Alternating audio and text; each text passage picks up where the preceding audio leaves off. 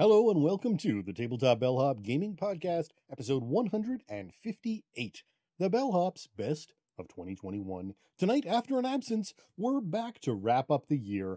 I'm Sean, and with me, Mo, the Tabletop Bellhop himself.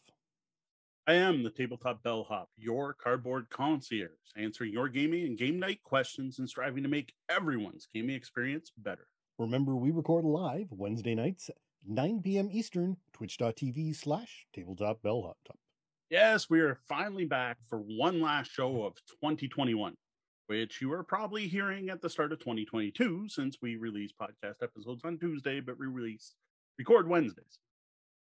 What we are going to be talking about tonight are the best games we played this year, share our biggest gaming surprise of the year, and I'm going to review one of the best games that was released this year in 2021. Is Land versus Sea from Good Games Publishing. Welcome to the suggestion box. Here we highlight some of our interactions with you fine folk. Up first, a comment on our topic of great board games for historical miniature wargamers. Patron of the show, Brian Sheen writes, I feel 300 Earth and Water is a good one for the list. Well, thanks for the suggestion, Brian. Uh, my only concern with this particular Cubes on a Map game is that it's only a 30 minute playtime. While I'm personally curious about a 30 minute Battle of Thermopylae, I worry half an hour isn't going to be enough to satiate your average wargamer. I think most historical wargamers are expecting to sit down for three to 12 hour games. So I don't know if a quick filler with lots of cubes would satisfy that itch, but there is a chance. Yeah, now there are wargamers of all types. They don't all like to sit there for a day or two. Fair enough. Now, leading up to the holidays, we republished our great non game gifts for gamers article, which led to these comments. Dave Wood writes, I'm hoping one of these is bookshelves to hold those extra games and make way for more. And Cindy commented, I got this for my son, who is a tabletop gamer. Travel dice set in a Celtic knot pattern stainless steel matchbox. They have other designs a dragon, cat, bear, bird. Neat because the box is stainless steel and wood, tough enough for life in his backpack. Now, what I will do is I'll drop a link to that in the show notes so people can check out these Knotwork dice holders, dice packs. So thank you both, uh, David and Cindy. I agree bookshelves would be a great gift, though I think in general the price range of a bookshelf is higher than most gift givers are willing to spend. But one fair one thing I do want to point out is if you are buying someone a bookshelf, I don't think that should be a surprise gift. That's not the thing you just show up with a flat pack from IKEA for. I think in that case, you probably want to talk to the person ahead of time or tell them you will buy them a bookcase and then work with them to find something that actually fits, whether that fits in their home or fits with the right um, decor, the right colors, and all that. Uh, you want to make sure that you're getting something they're actually going to want and use in their house. And that Matchbox dice box, excuse me, that Matchbox dice box is gorgeous looking. I do really dig the bat pattern on it. We actually did get our daughter a bookshelf, but it was for books, not games, and I was the one who put most of it together. Oh, of course. Now, next, I hate assembling. Why is assembling bookshelves so terrible? You know what? People joke about IKEA, but those people haven't made things from non IKEA because really IKEA yes. does it right. The number of things that were in the wrong order in this particular mm-hmm. instruction book was frustrating. And finally, by by the time I was in the second half, I made sure to read ahead and do go back and then and do the, those other things. It's like that are going to get in the way once you. And I gotta anyway. say the the IKEA tools that are well frustrating are still way better than needing three different screwdrivers as well as a hammer and finishing nails to put your thing together. Absolutely. All right. Well, next, a comment from the winner of our roll camera giveaway. Ethan Lean writes, I'm really happy to have discovered you guys on Reddit. You guys really run a great service. Thanks, Ethan. I'm happy to see that we're at least a thing on Reddit and that people are actually finding us through there. Due to their, I'll say it, ridiculous rules about self promotion, I don't actually post there that often at all. And anytime I do link to our stuff, it gets deleted by the mods. So it usually takes someone else pointing people our way for us to even end up on Reddit. So welcome to the fold, Ethan. I'm glad you did find us, and I hope you're enjoying your copy of Roll Camera. Well, we really probably should set up our own subreddit so that we get to set the rules, but I don't know anything about running moderation on such on Reddits. Mm. It's just another place to post, and I don't know if it's worth keeping up over there as well. I don't know. Maybe it's something to look at in the new year. Well, we also got a comment from Raul Rempen, who's the designer of our roll camera on our review. Mal wrote, Thanks, guys. Glad you liked it. And yes, it's Malachi. Right. I typo. That's Mal Rempen. Right? Oh, Mal, Malachi. Okay. Ah, there we go. That makes way more sense. That does make more so sense. So we're just gonna mess up your name every time you talk about you, Mal. I am sorry about that. Um, I admit I should have got that one when I was reading. Like it's spelled Malachi. It just I guess I think in the same review or the one before had a bunch of other names. Had a hard time. Uh, it's my bad. I'm there's sorry, a, and we just did it again. There's a um, reason why I put the uh the names up in print on all of yes. our reviews. That way you can see them. We need that for the live show too, because obviously I can't read. Um, so yeah, thanks for the comment and thanks for the fantastic game.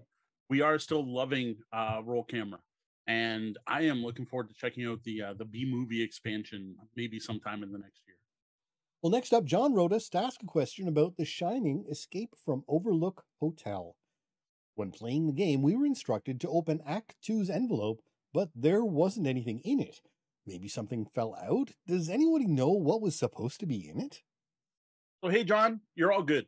There's nothing that's meant to be in the big envelope that says Act 2 it exists so that you can save your game between act one and two which you may not want to do like that's only something you're going to do if you're going to split the game over two sessions instead of playing it through all in one now when you save the game book tells you what you need to put in that envelope and it's everything you're going to need in act two and to be honest this is worth doing if even if you are playing through straight through because it lets you clear off the table and get stuff you no longer need out of the way and back into the original envelopes and then when you start back up say a week later you're going to pull it out and you're going to be like, oh, what do we need for Act Two? Well, it's all in that envelope. You just dump it on the table.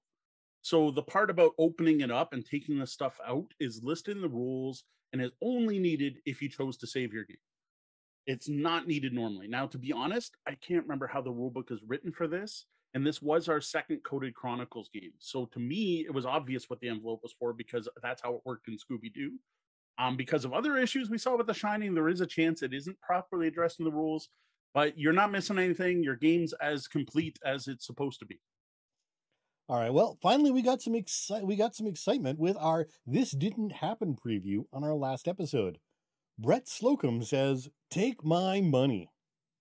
Well, you're gonna have to wait a week or two, Brett. Um, this one's gonna hit Kickstarter. It's supposed to be the beginning of January. Um, from what I remember, it's supposed to be the second week, if nothing's changed. Like the last I've heard, it was supposed to go live on the 9th or 10th. It was in that area.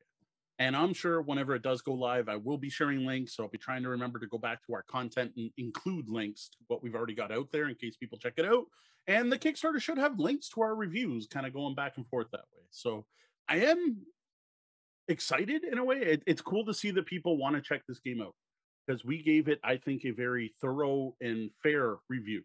And people are listening to that and going, no, this still sounds like something I want to check out because there is a lot of neat stuff going on there or a time travel game. Well, that's it for this week's comments. Send your feedback to mo at tabletopbellhop.com or hit us up on social media. One quick announcement before we get on to our main topic tonight. As of last week, Spotify has added the ability to review podcasts on the mobile version of the Spotify app.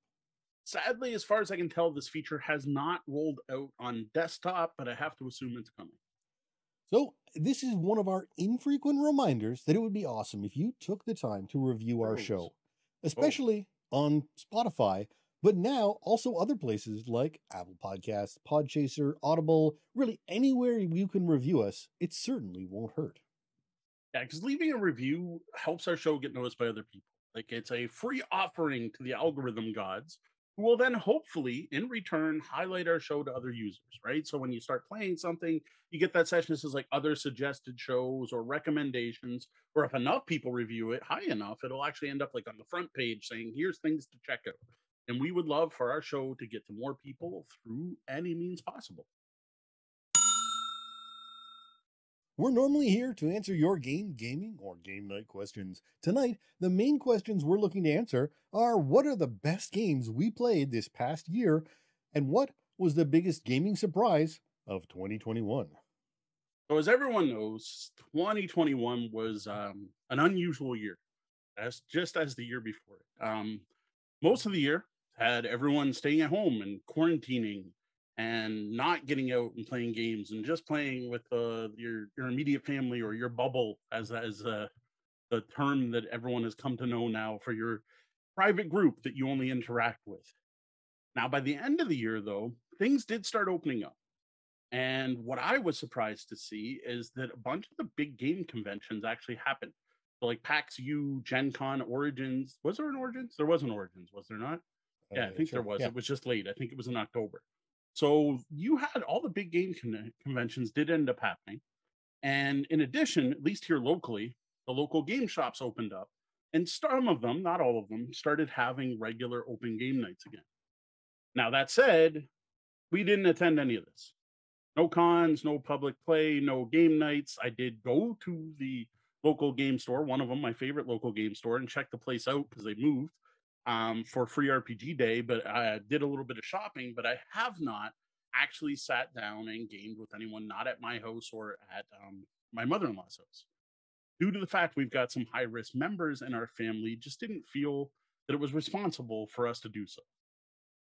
And well, it turns out the pandemic isn't actually over, and maybe those cons shouldn't have happened anyways, but hindsight is of course 2020, and there mm. were a lot of great games out there despite some of the bad news in the world over 2021. Yeah. Yeah, I'm not going to get into if you should or shouldn't have. We didn't, is all that matters at this point. Now, due to this, it was a really odd year gaming wise for us, especially for discovering new games. Now, yes, here on the show, we do try to keep up with the news and we do try to uh, catch some of the new hotness, and we've even been using our Sunday brunch episodes to look at some of the great games that were released at Essen this year. And yes, I did pick up some games throughout the year, but I didn't get to try nearly as much new stuff as I would in a normal year, even less so than the year before. Because at least the last year, up until March, we were out gaming, and a lot of games come out at the beginning of the year, and I at least got to see and try some of the games because the main way I often discover new games is at cons, right? Going and doing demos and paid events and actually playing through games and through local game nights. And while we didn't have either.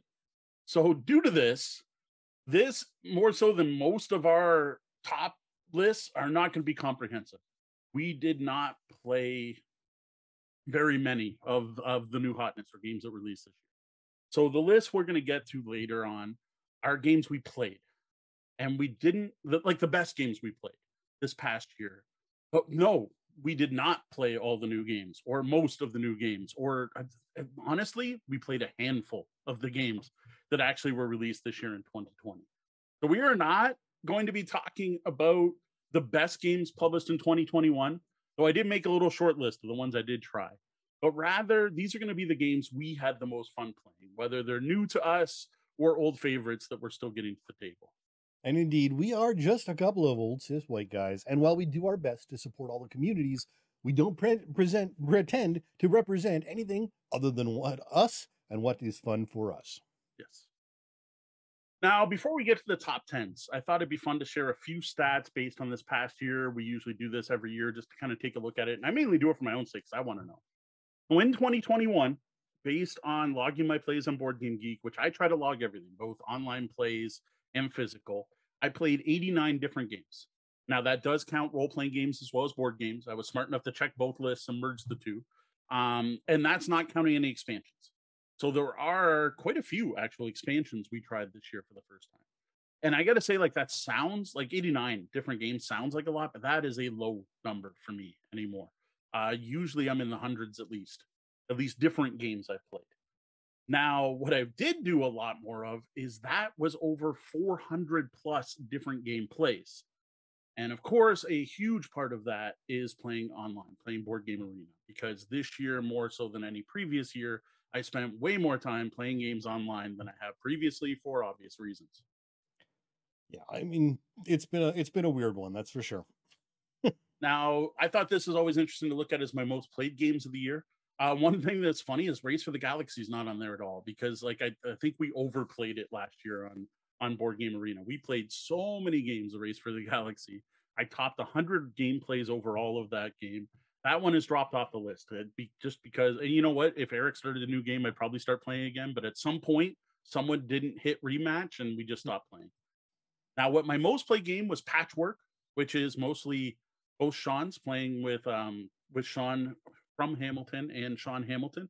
Uh, we I played we Patchwork came out on Board Game Arena, and when you sit down and play that, it can play ridiculously quick. I honestly think you could probably real time finish the game in like five minutes, if not ten. So Patchwork is my number one.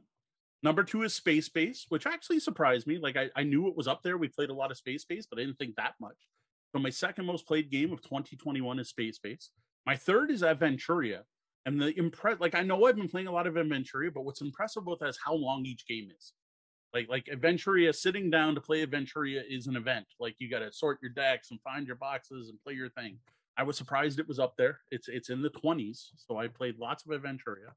Uh, next is Draconis Invasion, which the only reason it's that high is because we had to review the expansion and played 12 games in a row over two days. Um, so that is the main reason. And I'm not trying to bash on the game by saying that. It's just that's why it's up there so high. Is we played through a 12 part campaign of that game in addition to just playing the game enough to review it in the first place. So you're looking at 20 plays of Draconis, uh, mainly so we could play through a whole campaign. And then the last um, is Codenames Duet, which I, I, that's just such a fantastic game. That, that's a go-to date night game for DNI. Uh, we play it with Corey and Kat. We prove to uh, Sean that it's not just a two-player game. In addition, during our extra live stream, we actually played a ton of code names with our chat room and other people joining us at codenames.com, I think it is. I can't remember the name of the site, yeah. whatever it is, codenames.com, where it's free to play. So those were my top five games played. And yes, you will note that none of those came out in 2021. Yeah, no, it's uh it's been interesting. Physically, I played 23 games. Now I I record games differently than Mo. I don't record digital plays. Uh usually not even tabletop simulator plays. Um but so 23 new games which really isn't all that low a number for me all things no. considered.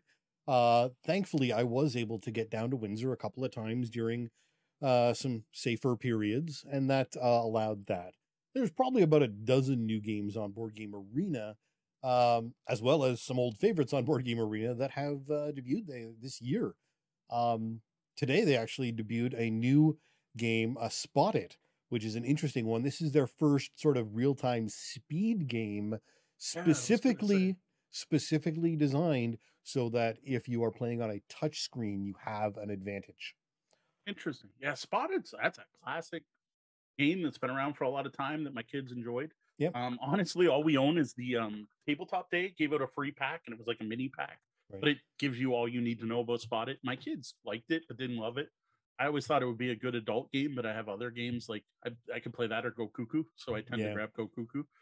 But it is a fun game, and I, like except for you're saying there's a new way to play. I'm like, how the heck do you play that on Board Game Arena? Yeah, so they they've I don't know how they've worked out the time. I'm concerned about the timing of actual yeah. loading. Well, but, yeah, uh, like lag, right? If one player is lagging, that game just doesn't work. Yeah, exactly. Uh, but there's a couple of different play modes. I haven't gone into it, but uh, that is there for fans of that game. I wonder if that'll lead to other games like like say Set or Ratuki, other other real time games. Oh, I mean, it could be they you know it, it, Asmodee's got their hands in there and they are pushing out a lot of games. That's true. It's almost one a day. Actually, it is one a day right now, isn't it? Still? No, there's. Uh, are they doing one? I don't think they're doing one. They were for a while, but but they're they're definitely doing one. They always do one a week. So one a week is right. is every Wednesday is is usually new new game night or day. Yeah, I got to say, twenty three new games for you is is actually a pretty high number. Mm-hmm. I, to be honest, I'd have to go back through previous years to figure out what my real numbers are, but it felt low. Right. Which reminds I, I, me, actually, speaking of which, sorry, Gaia Project. We need you need to teach me so we can play it on BGA. I don't own it. How do I teach you to play? It you don't. don't you don't own Gaia? I thought you no, did. I don't own Gaia Project.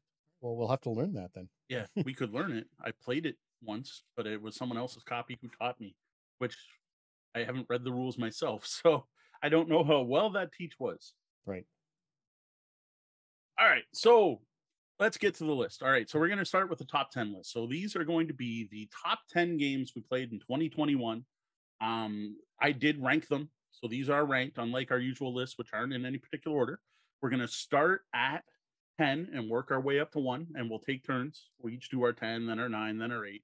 Uh, we're not going to do the dice tower thing. This is further up on the other person's list, which there is some overlap, but not a lot.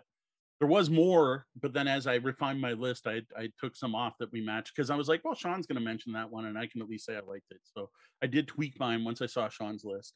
Now, one of the things I do want to point out again, just in case you're here to hear about the new hotness from 2021, I stuck to games that were new to me this year. So everything on this list I had not played until 2021.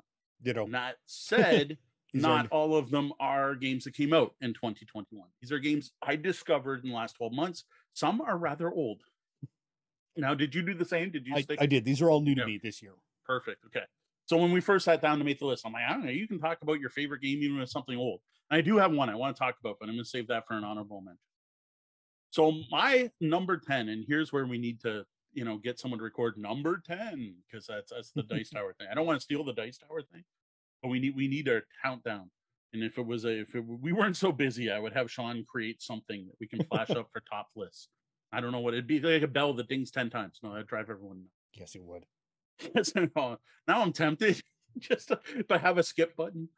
All right, so number 10 is Shadow Kingdoms of Valeria. This is the most different Valeria game that's out there. The the one that is the farthest from Card Kingdoms of Valeria. This is a game where you are playing the bad guys who are attacking Valeria, and it is a dice based worker placement game.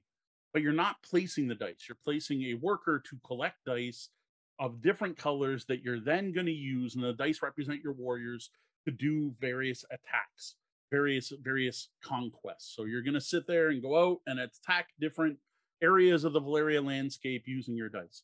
I possibly shouldn't have put this on the list because I took something else off for the same reason. So I technically played this originally in 2020 because as a prototype, but it wasn't published until this year, and I am playing now the published copy.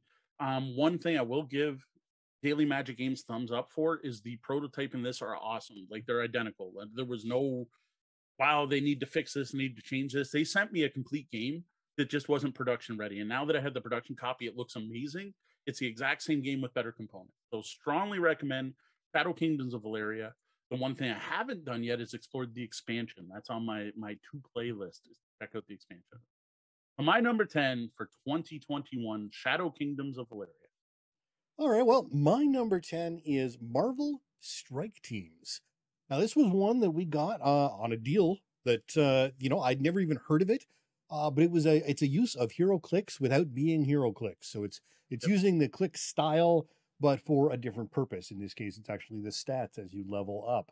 Uh, it is a uh, PvP uh, playing where you it's, it's a team of heroes played by one or more players against a uh, the the GM or villain of the thing with various setups, and it was interesting. It was fun. Uh, my son and I had fun, but not enough fun to actually get it back to the table again yet. Mm. Um, so it was it was interesting. It was it was fun. I think it's well done, uh, but it just didn't capture the imagination as well as we might have hoped it would. So that's why Marvel Strike Teams, while interesting, is still only my number ten. So you said there's a DM. Is it an AI you're playing against cooperatively, No, it's, it's or is one player. player plays one, so it's a player. One player plays bad guys. One Okay. one or more player plays good guys. All right, so one versus many Marvel Strike teams. And then what I just I am so confused that they didn't make them hero click. Like like that's bad. The Star Trek one I get, right? Like Star Trek's so far apart, but these are superheroes and Yep. HeroClix is superheroes. It seems really strange to have published this game without it being compatible with the rest of the Hero Click. So unlike the the Teenage Mutant Ninja Turtles starter set that came out, which had a fantastic cooperative game included in the box, you can then use those with all the rest of your Hero Clicks it's one I'm curious about. Um, if we got together more often, I'd say you should bring it down and play it. But we've got lots of other stuff we should probably try first. Absolutely.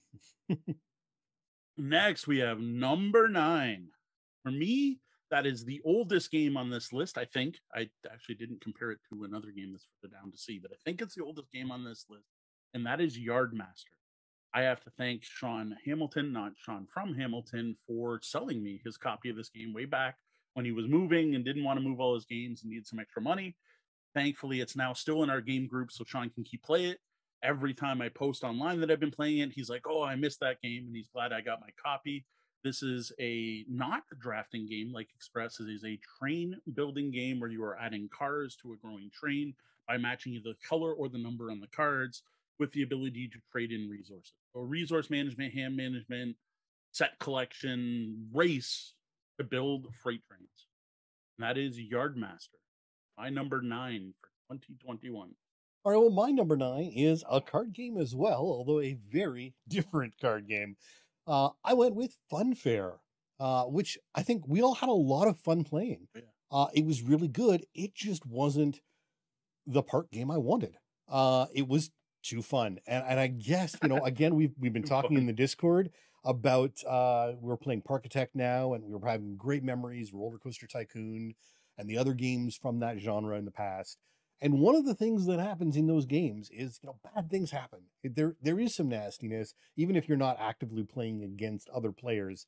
Some things happen, and that's just sort of part of life, you as you expected from a theme park. Mhm. And and for that matter, it Funfair just came off as a bit nicer. And and I'm not an antagonistic gamer. I'm not a player who does a lot of take that games, but Funfair was just too too nice, I think, for the genre that it's trying to represent uh, and it has its place. It's a great game. It's really well made and it's really well balanced. It just didn't quite fulfill the need that I was personally looking for. So Funfair ended up at number nine. Yeah, for me, Funfair, I really dig. I really liked it. I, I think it is a fantastic introduction to that system of games, which uh, you can probably guess. We're going to talk about the other game later. um, I think it's great for that. Is a great gateway game. It's a great family game. If you want a a light, fun game about building a theme park for your family get together or to play with kids, I think it's a great recommendation. Absolutely. Number eight. This actually comes from the same company, so this was unplanned. I have another game from Good Games Publishing, and that is Land versus Sea. Land versus Sea is an abstract tile laying game where you are trying to build either land features or sea features and close them off to score points. At least that's the basic game. And to be honest, the basic game's good. The basic game's solid. It is a great gateway game. It is a great tile laying game, and I think families will love it. Where the game shines, though, is with optional scoring systems and surprisingly, playing at three and four players. While the game seems to be billed as a two player game, don't believe that it is. Uh, this game, in my opinion, plays better with three and four with some variant rules. Now, I have a lot more to say about Land versus Sea. And if you stay tuned to the whole episode, you'll get to hear our featured review later, where I will highlight Land versus Sea, my number eight game of 2021, and actually released in 2021. Well, for me, it's Codenames Duet. Now, this is not a new game at all, but it's new to me. And I finally got to experience that world that is Codenames Duet, the non two player game that Yes. sounds like it should just be a two player game. Uh, Sorry, I didn't even think about the fact these two are together. That's funny. and uh, we have played this any number of times, especially in the digital version, uh, with our fantastic fans that joined us during our uh, extra live streams this summer and played uh, with us digitally and got to experience the group play that is Codenames Duet. I still stand by the fact that Codenames Duet is the best version of Codenames. I have multiple versions of Codenames that are all mixed together in my Codenames Duet box because that's how I use it all. Codenames Duet, the team-based Codenames, to me is a superior to the original competitive, which is also still team-based, but competitive, the cooperative version versus competitive. And I'm not even a huge co-op fan, so that's that's another one. Deanna also prefers it. Anytime you get Deanna loving a co-op game, it's got to be good. Absolutely. Moving on. Number seven, I have Riff Raff, the most precarious stacking dexterity game I have ever played in my entire life that takes some real skill and planning and strategy to be able to play at all properly. The key to Riff Raff is realizing that getting everything on the ship is not how you win the game, but rather catching the stuff that falls is a bigger part of the game than making sure you stack things correctly. This is a wooden ship on a gimbal with masts masts that wobble. I, there is something fantastic about that game. One of the benefits of using this gimbal that I love, though, is it doesn't require a flat table. If your table's off center, the ships will still stay straight upright. A big bonus when playing at some, at least, of our local game stores whose tables have seen better days. I am so glad I bought this one off Jamie. So thank you, Jamie, uh, Wilt Chamberlain, local gamer, for selling me your copy of Riffraff. Even though way back when we played it, I don't know how many years ago for the first time, I tried your copy. We got so frustrated just trying to assemble the thing we had given up. Yeah, Riffraff's an interesting one. Uh, you aren't going to find it. You aren't going to get it. This is not the new hotness, even slightly. But if you ever do get a chance to play a copy, it's definitely worth a play. Yeah, this is the one that might be older than Yardmaster. I'm not positive. Uh, for me, the next up was Letter Jam. Uh, this one, uh, newer. It's not new, we, but it wasn't. Uh, unfortunately, I didn't get a chance to play that when we first reviewed it. So we decided to, you know, get it to the table when I was down at one point early in the year. Mm-hmm. And it's definitely a fun. The scoring is a little weird, but the actual game itself is just such in so, so enjoyable. Uh, it's a really great game. And again, just with most of these letter games, this, this style, the scoring is, is always a little on the questionable side. I honestly don't know how uh, party game scoring like like like I'd, I'd have to talk to like Bruce Vogue or some of the from the Party Game Cast, which is a now pod faded, but an excellent old podcast about party games and people who play them. Um, what what is up with party games with terrible scoring? The letter jam scoring makes less sense than most. I will say, overly complicated and makes very little sense. Um, that was a surprise hit for me. It didn't make my top ten. Um, probably need to play it a few more times. But what I did like about it is I can't think of another cooperative word building game. And maybe they're out there, but I can't think of any off the top of my head. So I liked that because your personal vocabulary didn't matter, right? It was your group team's vocabulary. And honestly, words that you think the other people at the table will know are more important than spelling the longest thing. And I, I really enjoyed that aspect. Yep, no, absolutely. Number six, roll camera. Uh, we did a review of this one in this last year. This is another big hit that came out in 2021. So we do have some of those on our list. This is a worker placement game using dice that's different than Shadow Kingdoms because you are actually placing the dice. You are trying to make the best or worst film that's ever been made. Um, you're putting building sets, you're putting actors on the set, you're putting cameras on the set, you're holding meetings, you're trying to plan your budget, you're changing the script halfway through it's all the chaos of making a movie in board game format. Uh, this one is a was published by Team Bean Publishing, but is being distributed by Grand Gamers Guild. And I think it's awesome that Mark reached out and got us a copy because this I probably would have just skipped right over. And it is a fantastic game. Like this may be a big hidden gem because I don't see anyone else talking about this game, and it is really good.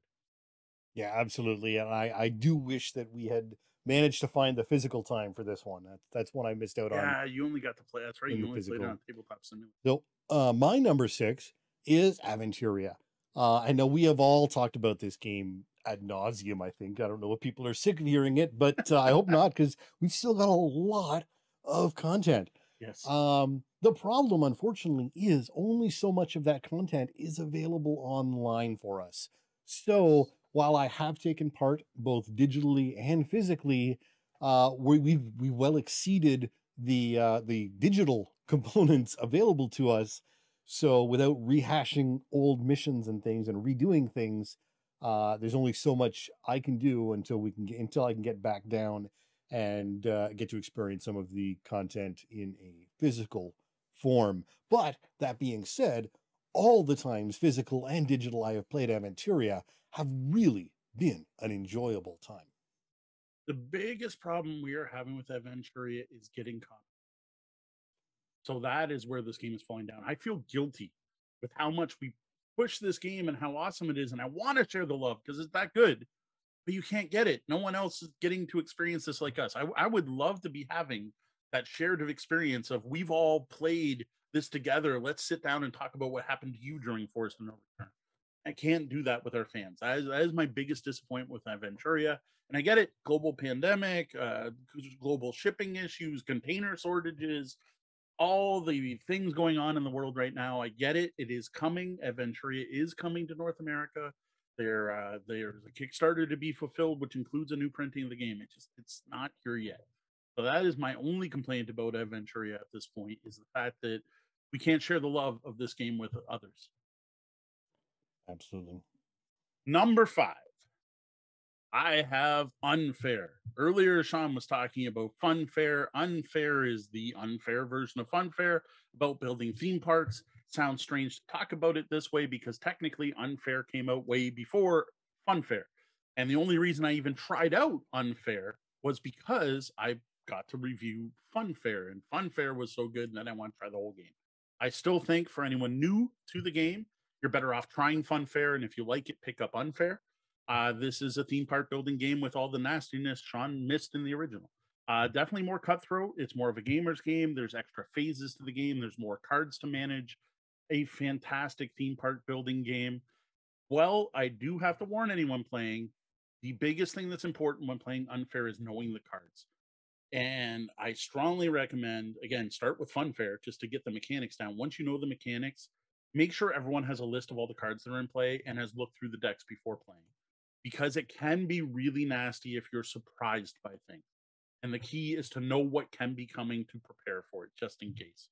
I will admit, my first two plays of Unfair, I did not enjoy it at all, but I didn't know the cards and I wanted to discover it. I just wanted to play. So we just mashed everything together and started playing.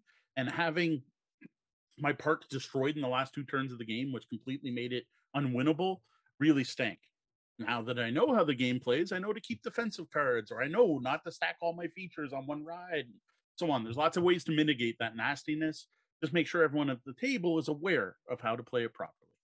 But mm. yeah, the best, in my opinion, the best um, theme park building game out there. And there are a few. Like this includes the dinosaur park games as well, without mentioning them by name. Yeah, it's interesting. It's uh, there's definitely a difference in, in most deck building games, uh, and this isn't technically a deck building game, but it, it you know, it's it shares some some com. But it, again, games like this, you want to just sort of throw the new stuff in and play and discover as you go. Uh, it's a very common way to do things, and mm-hmm. that just fails miserably in this game. You really do need uh, as much knowledge as you can get, especially as you start moving into the expansions, where yes. things really come out of left. Uh, you've you've you've moved beyond the basic uh, concepts of the game into the extra extra stuff, and that's where it can really come out of left field and shock you. Yeah, totally. Um, the other thing too you want to look at is not just like the type of things that can happen, the card distribution, especially when looking at the blueprints. Knowing that there's only one or two copies of a card and save you from spending an entire game fishing for something that's not there, which can be not. Yeah, no, absolutely. All right. And uh, now, next up, we have another one. I'm actually sticking to almost newer stuff here. This is my second yeah. 2019 game, uh, is Tapestry from our friends at Stonemaier Games. Uh, this one, I, I first I got to play digitally. Have I have I played it physically yet? I don't think I have played it physically yet. Yeah, we played five players. Yes, we did. We yeah. played the five player physical. That's right. Where where Cat managed to like fill her entire sideboard somehow. Uh, that's right. Yes. Um, I, I have played it a lot more digitally, especially now that BGA has a digital version of it. And let me tell you, folks, it's fantastic on BGA, but don't try and learn it on BGA.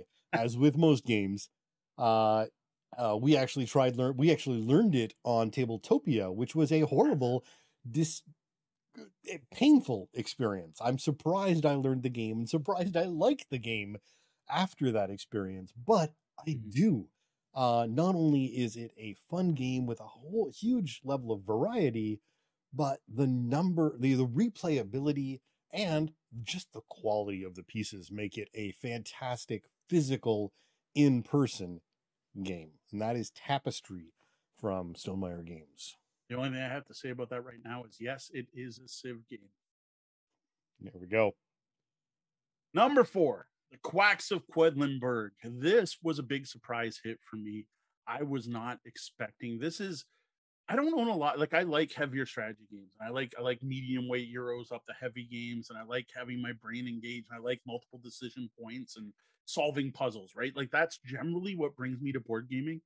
It's not often I find a game that's just fun.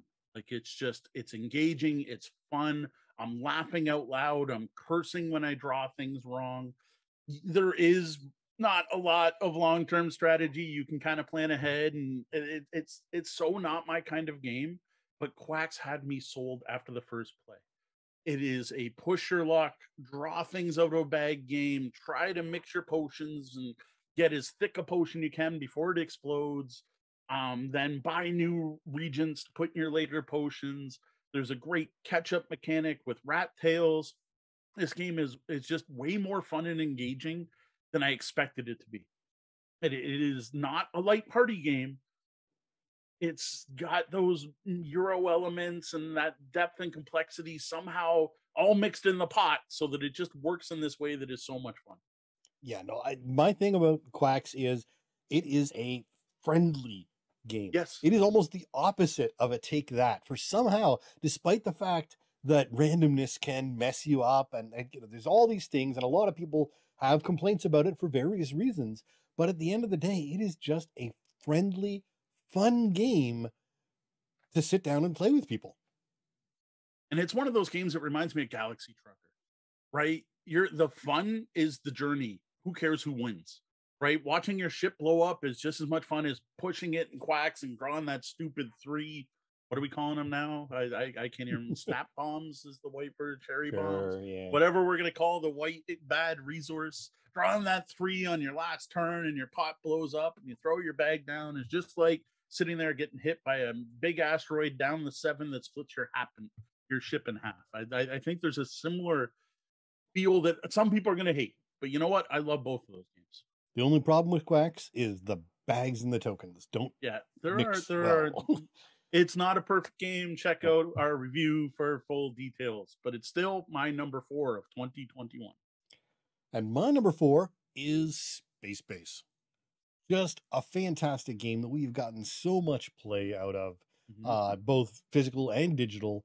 Uh, the tabletop simulator is a fantastic. If you get the right one, it is the right, a fantastic yes. implementation of it uh, that really sort of helps players along and helps smooth things out and allows you to enjoy the game during this uh, tumultuous time. Um, I haven't gotten into all the expansion into the expansion yet, but uh, as the base game is, I have really just thoroughly enjoyed it. Yeah, with space base, what we need to do, I, I, haven't been feeling very well, obviously, is we still need to go through Shy Pluto on that app because it's there, right? It's so see if we can play through that so you get to experience it. Uh, space base, I said, it's in my top five played games this year. Like it's it's a great discovery. You know, uh, like why did it take us so long? it's one of those games. Like it is not new at all, and I'm like, wow, it took us too long to get to that. Number three for me is earlier on Sean's list, and that is Tapestry from Stonemaier Games. Amazing production. Really, honestly, simple rules. Tapestry's rule book is four pages and it works. Literally, all you do every turn is I take income and I get a bunch of points and resources, or I advance on one of four tracks. Theme comes in when you read what you're doing on those tracks. I realize it's kind of pasted on. But if you actually look, you're developing agriculture and all that, you're getting technologies, you're upgrading technologies, you're building your capital with actual physical buildings that come pre I should pre-painted is not really the right word because they're the pre-molded plastic that was already colored, but, but like pre-painted miniatures. I have not had a bad game of tapestry yet. I have never cared if I like I care if I win or lose, but like I've never been like, oh, I got last in tapestry, or oh, I'm terrible at tapestry. It's never happened. I'm like, damn, I did last. I, either this civ sucks or I don't know how to play this civ or like that's the one thing I haven't done that I often want to do is we finish a game and I'm like, can we replay with the same civs so I can try a different strategy? The number of civilizations in that game make it infinite replayable. Um, I know a lot of people out there hate on it, but I am a tapestry fanboy. That one has totally won me over. I what I need to do next is there's now two expansions for that game, even though I feel like I haven't really discovered everything in the original. Absolutely. Now, next up for me, uh, since I already talked about tapestry, I'm going into my favorite genre, which is or while staying there, I guess, because Space Base was last, Yeah. but staying in there is Eclipse Second Dawn for the Galaxy. Again, this is almost newness. This is 2020 Yep. uh, publish, uh, even though the original game is a don't- 2009 um, game. And this one technically didn't hit retail stores till this year. So it may count. It, it might count as a 2021. The only people who were playing in 2020 kickstarted it.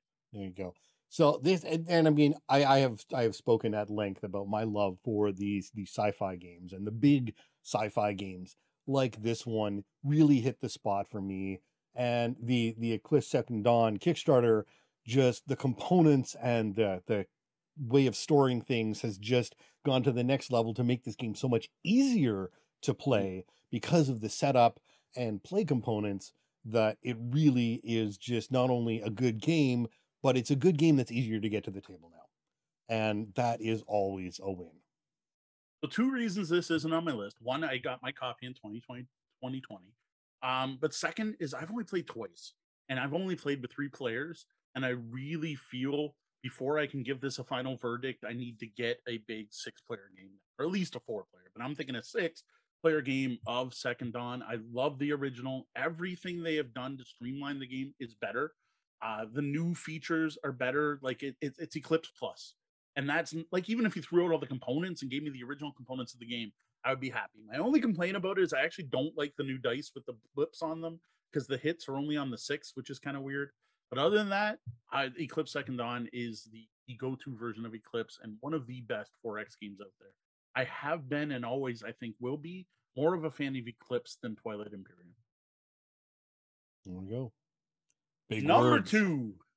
Number two is where I put Space Base because I, it's my second most played game this year. Like that's ridiculous. I have played so much Space Base and introducing it to new people. I love the fact that something happens on everyone's turn. Like the it it's it's the Machi Koro, the Valeria, the all of those, except I really care what happens on other players' turns. I love the combos. When you get one of those combos where if I roll five to eight, I get these seven things, is so rewarding. Um, the the various strategies we've seen people go for colonies, we've seen people go for sevens, we've seen people try to get the stupid card where you win the game if you get enough hangs on it.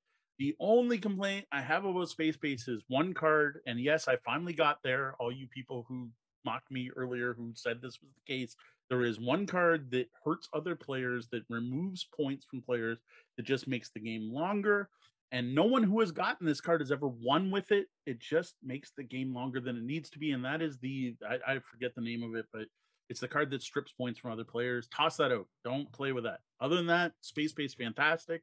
Uh, got a full review on the blog. Also, Shy Pluto, we really enjoyed. So, Shy Pluto, I do have a caveat on. You'll have to read the review to find out what I have a problem with on that one. Absolutely. And I've already said my love for Space Base. So uh, moving on, I'm going to now share my love for Unfair, which was, again, we've already talked about earlier on the list. Uh, it just hit a little higher for me. Uh, now, part of that could be I haven't played all the expansions as fully as you have. And I Mhm. know some of your problems came from certain of the newest expansion pack, uh, which I haven't gotten to the table yet. So, but barring that, what I have played so far and the the three player and two player games I've played have been fantastic. And again, this is a rare take that game that I really like. Uh, and I think that's that's what helped push this up on my uh, list higher because again, it's it's not a style or theme of game that I go for, but it was hitting a lot of those roller coaster tycoon type vibes for me, and and just it felt right, uh, and that is unfair. It was funny. One of the comments I almost put in the notes earlier today, but I didn't. And I, I don't know if I should have, but I can save it for now. Is we got a comment on the one YouTube video, and it's a review of Unfair, and it's Sean plays Unfair, yeets Funfair. and I was, I was amused by that. Yeah. So I'm like, yeah, pretty much. Because Sean really liked Funfair. I Like he- did. he's It like, yeah, good. Funfair is this, but like when he played it before playing Unfair, he was like, this is one of the best games you own. This is a fantastic game. I really dig this. Like he really liked Funfair, but then he played Unfair, and he's like, I never played played Funfair. yeah, again. That- it- yeah, throw that game out. yeah, absolutely, it's true. it's very true. So that was funny. So yeah, Unfair on both our lists. That that's that's possibly between the two of us one of our strongest recommendations.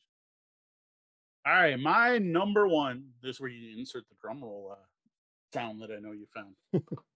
uh, for me, that's Aventuria, the Aventuria adventure card game from Ulisses Spiel, an adventure card, excuse me, an adventure card game set in the world of the Dark Eye, Das Schwarze Auge, from Germany, the the most popular role playing game in in in um, in Germany, converted to card game format, including all of the classic adventures that you can now play through in this card game. There are some things that are just done perfect in this game, in my opinion. Now, the game does include a duel mode where it's like playing Magic. That wasn't for me. I'm sure there's people out there that like it, but the real highlight of that game is the cooperative adventure mode where you pick one of the adventures you own, you pick one of four difficulty levels, you pick a hero and you play through an adventure, which involves playing through a linear storyline where you're going to make a couple skill checks and then have some type of boss fight, we'll call it, because they're not always fights. And your skill checks are going to impact that boss fight, either giving you bonuses or penalties. What has really blown me away about this game is two things. One, the difficult decision of what of your cards to turn to endurance. So the mana system in Aventuria is just fantastic. It it adds this this complexity to the game and this difficulty that I really enjoy of you have to toss cards out of your deck be able to do anything with the rest of your cards. You are every turn are going to pick up to two cards, basically removed from the game, to be able to use your rest of your stuff. And man, if you built your deck, everything you put in there is for a reason, right? So it's I love that difficult decision, and I am blown away by the variety in the quests, especially those boss fights, the the main part of the game where you're doing the big end of the adventure fight, how different everyone has been from swinging from chandeliers to stabbing werewolves with silver cutlery to trying to escape a flooded room. And it all uses the same mechanics and somehow works to tell different stories every time. Honestly, this is the game has blown me away. It is such a great game. Yeah, and I mean the again, I said before, the only reason this isn't higher on my list is because I have, because of pandemic reasons, haven't been able to experience all of the content we've gotten. I've seen it unboxed, but I haven't actually gotten to play with it. And that's been that's what's kept it from being my absolute favorite is because it's just not I haven't done it. Yeah, you haven't played it. well, you've only ever played anything in the base box, right? You haven't even seen four. When you played, yeah, no, we did play Forest. One of them. Yeah, yeah, we, we did played part one of Forest. Yeah, yeah. But uh, but again, we haven't haven't done all that much of it. Yeah. Uh, and then, so for me, is uh, my number one game, and this one is going to sound a little amusing to some people, but it's Draconis Invasion. Now, for one thing, I love deck builders. Deck mm-hmm. builders are my thing. That's, you know, me and my family all love deck builders. But the thing about Draconis Invasion was it, it wasn't perfect. It wasn't by any means perfect, but it kept us wanting to play more. You know, we talked about how, yes, we played this because we needed to get the review done and we wanted to get through the whole campaign to make sure we reviewed it properly. But we played it more than we needed to. Like that, especially yeah. in the first box before we got to the expansion, we kept playing this game more than we had to. We only mm-hmm. needed to play a few games and we kept going back to it and we kept wanting to try more. And we were frustrated at some of the failures of the game. And I think that's a fantastic sign. If you're invested enough in a game to see a problem and get angry that they didn't do it better because you wanted the game to be better, that's a good thing. I, I did dig this one. It, it, was a surprise how good it is. They did some things very right, but the game does have some problems. Uh, that that sums it up well. Uh, there were definitely some things I would wish were fixed, but yeah, like Sean said, it was it was like, why do I keep wanting to play this? But I do. So they did something right. There was a there was secret ingredients. There was something you know stirred in the pot, something done right the, the there was something added to it, right? There, there's a reason I keep buying Tim Hortons coffees on my way to work, even though I'm like, man, Tim Hortons is not the best coffee. Yep. The Draconis is the Tim Hortons of deck builders. It's like you, you just keep going back to it, even though it has some flaws and definitely isn't the best, best yep. deck builder. Absolutely. I'll admit, I considered putting it on my list. I I, I considered it, but I didn't. It, it, the other games I thought were better. If I was doing a top 20, top 25, it'd probably be in. Yep. All right, so I do also have one honorable mention. So that is the fact that this year, for some reason, well, I kind of know the reason, but we rediscovered Castles of Burgundy. Uh, this is a classic Stefan Feld game. Many people claim it is the best Stefan Feld game. I'm still uh, maybe. Um, I've owned this since the original Alea printing. I don't know what year it came out, but I bought it the year it came out. Um, and we never played it. Like I have had this forever. People say it's the best two player game on the market. Dan and I have date nights and we never play it. And that's because it's fiddly. It's all kinds of thin cardboard hexes that have to be sorted in by color. Some are all the same, all the greens are the same, all the browns are the same, or whatever, but then other ones have to be randomized. And then you got to go through and find the ones with black dots on them because they go in a different place on the board.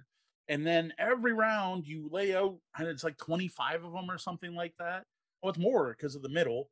You got six different spots with fours. I don't know, like 30 tiles you got to go lay out, all randomized. And at the end of the round, you got to clear them out. It's just so fiddly like setting up the tiles for each round of this game takes longer than it does to play the game.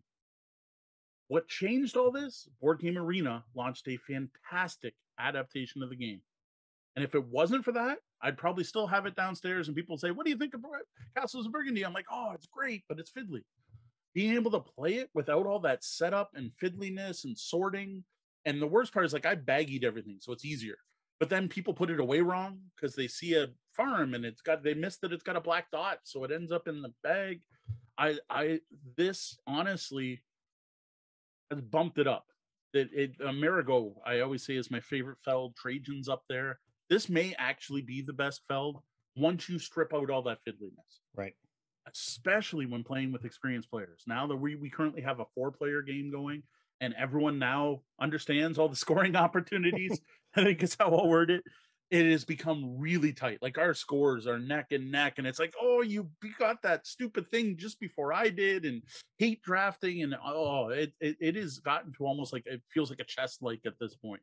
You're like, oh, I think you're going to do this, then this, so I'm going to do this to disrupt that. Meanwhile, there's two other players I'm not worrying about who are probably kicking my ass because I'm so focused on this one thing. I, I am really enjoying like that that that is in a way one of the biggest hits of the year is a game I've owned for years. Yeah, and indeed, while my first couple of games were rough because I decided to go in raw and not do any rule watching or anything. I'd never been taught the game. I just sat down and started playing. Uh, and Dee's pointing out in the chat room that the tooltips in that game are yes. really a huge benefit of the implementation because a lot of the graphics are a little on the similar side. So the fact that you can mouse over and see what it is you're mm-hmm. getting, that's a huge benefit. Uh, even but, without that, even if the buildings look distinct, remembering what each building yeah. does was terrible in that game. And so that what, was a game I had to have the reference sheet up and passing it around con- constantly. So now we've always said that learning games on BGA is a problem, and yeah. it, I I proved that. it definitely it definitely took me a couple of times, but uh, some offline chatter with Moe and things, mm-hmm. and and realizing what things people what other people were doing finally got it into me, and I've hit my stride. We're, I'm I'm keeping pace in the group games. I even got a real time game in with one of our Patreon patrons and their partner. Nice one night. Uh, they they saw me online and, and, hit me up, and we jumped in and, and played through a game uh, and I was right there with them. So that was uh, that was fun to know, fun to do. Yeah, this is one where I actually did break out my physical copy and played with Deanna because Deanna was having a real hard time. Like she's reading the rules online and playing on Board Game Arena, and she's like, I just don't get it. Like it's just not clicking. So we yeah. we have brought out our physical copy, brought it over to the in laws. Like like I, my physical copy got played because Board Game Arena exists. So I got to thank Board Game Arena, and even for that, for getting an old game on my shelf played again. That's what I and honestly, I want to bring it out to public play. Like I want, I want to go to the CG realm and play Shadows of Shadows in the wrong name, uh, Castles of Burgundy with four players, like in person, right there. I think that's what I need with Tzolk'in because I am clearly not getting it in Tzolk'in. I haven't been watching. I just I, I know I lost by two points because I missed that it was last. I lost by twenty five. So. Uh, yeah. So I realize I, I don't know if you're still around if you care about this, but a lot of people, when they hear best of 2021, want to hear about games that were released in 2021, right? Most people want to hear about the hotness. What was the best games that came out this year? Games released 2021. So looking at both our lists, there really aren't a lot of these, obviously, and we kind of explained why already. So I did have Shadow Kings of Valeria, Roll Camera, and Land versus Sea on my list. But that's like between the both of us for 2021 games. So as usual, we're not about the new hotness here, but I do want to give a short list of other great games that I played this year that were published this year. These are, are, are endorsements. These are recommendations. These are games that I thought were really solid, but not good enough to make my top 10 when compared to older games that I tried for the first time this year. When you're mashing all the games together, you can't fit them all. So number one is the Red Burnous Algeria 1857. So I am not sure if this belongs on this list or if it belongs in next year's list because it's not actually being published till 2022. Uh, I played a prototype of this game. This is a great combo of deck building and cubes on a map wargaming that I think both deck builders and wargamers are going to dig. It's a historically accurate game that addresses a very interesting period of time that I think is worth checking out. Next, I've got the new editions of Galaxy Trucker and World's Fair 1893. So these are reprintings of old games that have been tweaked. I don't think these are the best choices for games that already own the originals. There is not enough difference from the original printings to the new, I think, to justify purchasing the new versions. But if you don't already own Galaxy Trucker or already own World's Fair, now is the time to get them. Not only have they improved the game slightly and done a few tweaks, they're also cheaper than they used to be, which is not something you can say often about games. So those two releases I do strongly recommend. Next is a little wordy, which was a surprise hit for me because it's from Exploding Kittens, which is usually silly push or luck party games. This is a very solid two player word based game. And finally, I have Gorinto. This would have been on my list, but again, I played the prototype back in 2020, so I wasn't sure if I should put it on, which is the same reason I probably shouldn't have put on Shadow Kingdoms. So since I put Shadow Kingdoms, I probably should have put Gorinto on, but Gorinto is now getting out to backers in 2021. This is an amazing abstract strategy game that I like to joke is the Azul killer, because I really do think if enough people play this game, it could be as busy as popular as Azul. You are drafting tiles to put them onto your own personal player board the more of each tile you have, the more tiles you can draft, and you're doing variable end game scoring. So what you're looking for one game changes the other, like uh, each time. And what I really recommend is I think the base gameplay should be the one where you put out four different cards and they cycle every round so you can plan ahead. That adds a level of strategy that I think was missing in the base game. Fair enough. I think, you know, Roll Camera was one of those uh, tabletop simulator plays, which was fun, but just never quite as much fun I think if I had gotten to physically play it when I was down, yeah. it probably would have hit my top 10. Totally fair. So, the last thing I want to talk about today is what our biggest board game surprise was. So, what was the game that surprised you in 2021? You know, I would have to say it's a toss up between Aventuria and Draconis. But I think I'm going to give it to Draconis uh, because we knew from the sheer volume of hmm. Aventuria, you're going to be getting a bang for your buck, even if it's not the most fantastic game, which it turns out it probably is uh, a, a, a fantastic game. Uh, with so much content, there's a whole lot to work with. Whereas mm. Draconis, we had no idea what no. to expect. We knew we were getting a deck builder. That's kind of it. Uh, it could have been completely forgettable and yet, while again, while it had its problems, it shocked us as it kept us wanting to play more. And you know, yeah. as D was D was blown away that this was my number one. And uh and again, it shocked me too. I think I already talked about it enough. Um, if I if I planned this better, maybe I would have picked another game. But it's just how much we love Aventuria, how much we have been enjoying that, and how much other people have enjoyed it. How much like Tori now every time I'm like, oh, we're getting together Friday. He's like, yeah, can we play Aventuria? So so he is totally smitten with the game. I know Kat's been enjoying it. It has been a great date night game for Deanna and I to play. And it works as a co-op because some cooperative games are not good date night games because you end up frustrated with the other player playing incorrectly or whatever. Aventuria like eliminates all that um, quarterbacking because they got a deck of 30 cards. I don't know what's in their hand. I can't tell them how to play their cards. Maybe I can make some suggestions like attack with this weapon first but it has been a great cooperative experience. The stories are engaging, and as I mentioned, the what they have done to keep the game fresh with the same base of core mechanics. It's not like every boss fight has a new set of rules. Like, oh, in this we're going to break the rules and do this. Like, no, it's just the the the combination of henchmen and story cards, and yes, some of the expansions added new things like environments, but the way that game has been kept fresh from the expansions is blowing me away and the fights are engaging enough that I want to play them again. I do want to go back and try a game on higher difficulties to see if we would have succeeded. I, I want to see how things could play out different. What if different henchmen come up? Like, and the fact that every time I add an expansion to the game, it adds content to the entire game. So when I pick up Forest of Lost Souls, not only do I get to play Forest of Lost Souls, I get a bunch of henchmen that go into my deck and a new hero to play. So now I could go back and play through Master Taylor's Poltergeist, say, with a totally different henchman deck. Or well, Master of Poker is a bad example. You have the set deck of eight cards, but I could go back to um, oh, I'm totally forgetting the name of all the adventures in the base book, the one where you're trying to guess the goblin's name, and I could play through that with a new hero, which would make it feel unique. Uh, that game really has blown me away and I am so sorry I can't give you a link to go purchase it anywhere in North America right now. Uh, last place we saw that had copies was in uh, Noble Knight Games. Was the last place I've been able to. Now we are here to answer your gaming and game night question. If you've got a question for us, head over to the website, click on Ask the Bellhop, or fire off an email to questions at tabletopbellhop.com. Welcome to a review of Land vs. Sea, a abstract strategy tile laying game from Good Games Publishing, who we have to thank for sending us a review copy of this game. Land vs. Sea was designed by Jean Paul Jacques, who also did the artwork. Plays two to four players, with games taking under an hour, even at the highest player count. Land vs. Sea was published by Good Games Publishing in 2021 and has an MSRP of $30 US. This is a fun tile layer that some people might consider a next level Carcassonne. Or even a before Carcassonne, because at the basic game, I think it's even simpler. Now, in Land vs. Sea, players score by placing hexagonal tiles, trying to complete land or sea masses, with bonus points awarded for X's on the tiles, with a couple special features that let you take extra turns or steal tiles.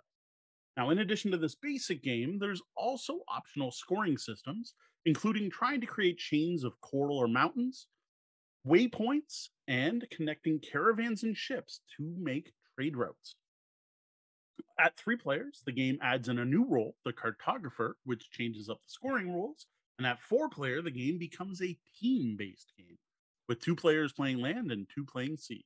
For a look at the excellent components that come in this tile laying game, check out our Land vs. Sea unboxing video on YouTube.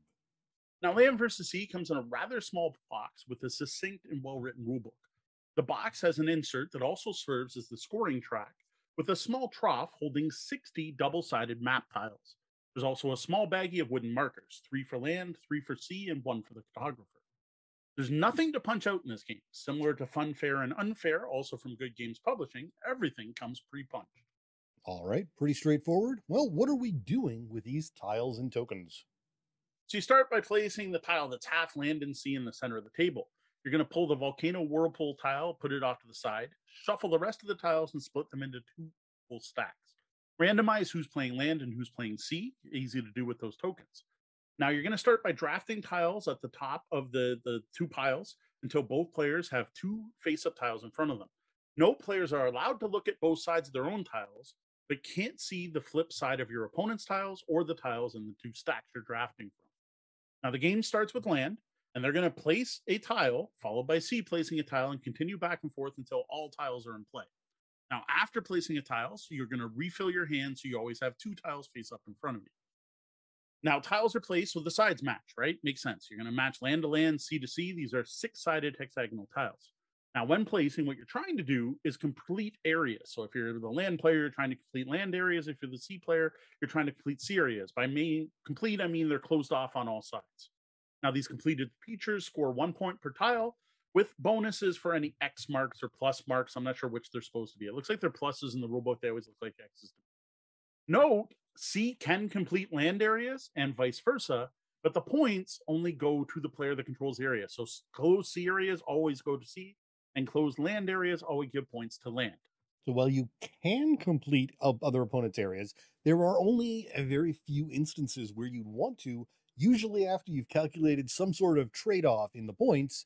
Mm-hmm. For most players, you'll only be completing your own area until you're a lot more experienced yeah, sometimes it's worth closing off an area just so your opponent doesn't make it bigger, but you are just giving them points. Now, in the basic game, some tiles feature special symbols. There's two of them. One of them lets you place your second tile, which can lead to more scoring, and the other lets you steal a tile from another player. Now, once the last tile is placed, the game is over. Player with the most points wins. Now, there is one extra special rule with the volcano whirlpool. So, if a player ever creates a ring of tiles that creates a hole in the map where all six edges of that ring are the same type. So all sea or all land. You then get to, for free, place the volcano or whirlpool tile. Now, this is a tile that contains a lot of X's on it. So it's worth a lot of points for whoever closes off that area. But note, there's only one of those doing double duty. So first come, first serve, which can hurt you if you've both been working on a six sided area. as only one person who's going to score it. And honestly, that's it. That's the basic rules for land versus sea. Now, along with these basic rules, the game also comes with a number of optional scoring rules that you can mix and match to add to your game once you've figured out the basics. You'll want to play the basic two player game a couple of times first, just to mm-hmm. get the ideas and fiddly bits under your belt before moving on to three player, four player, or advanced scoring rules. Correct. And some of these advanced scoring rules are required actually if you play three or four. You definitely want to get them down while playing two. So one of the optional scoring rules is coral and, coral and mountain. One of these bonus scoring versions is coral and mountain scoring. Coral scores points for seas, mountains score points for land, and you get these points for making chains of the appropriate feature. You're going to get two points per tile in the chain after the first one. These make a huge deal in the scoring, but can also distract you from other scoring formations, as you often need to decide which use of a tile will give you the bigger score in the long run. Now, caravan and ship scoring adds an area control aspect to and endgame scoring. A player scores two points when they place a caravan or ship next to another tile with a caravan or ship on it. And at the end of the game, you're going to look at each grouping of caravans and ships touching each other, count how many of each type of the tile you find. If there's more caravans, land scores one point per tile in the trade route. If there are more ships, then sea scores the points in the trade route. If there's a tie, no one gets any points. Now, these are fiddly and you need to pay close attention, in part because some of the confusing other graphics on the tile that aren't ships or caravans. And we'll get more into that when I get to my full thoughts on the game. Finally, we have waypoint scoring. Uh, each player gets a waypoint token at the start of the game and can place it on an incomplete feature at the end of their turn. Whenever this feature is completed or the tile containing counter is surrounded on all six sides, the player that owns it gets it back and scores one point. Remember to try, and try remembering to put it back out when you've collected it is one of those things that you really need to try and remember mm. to maximize your scoring potentials. Now, as mentioned earlier, all of these optional scoring systems can be mixed and matched. You could use one, two, three, all of them, none of them. Now, all the rules I just mentioned are for playing for two player only. Land versus Sea can also be played and works equally well with three or four players but there are rule changes for each player count. Note these are official variants right in the rule, they're, they're, they're part of the game.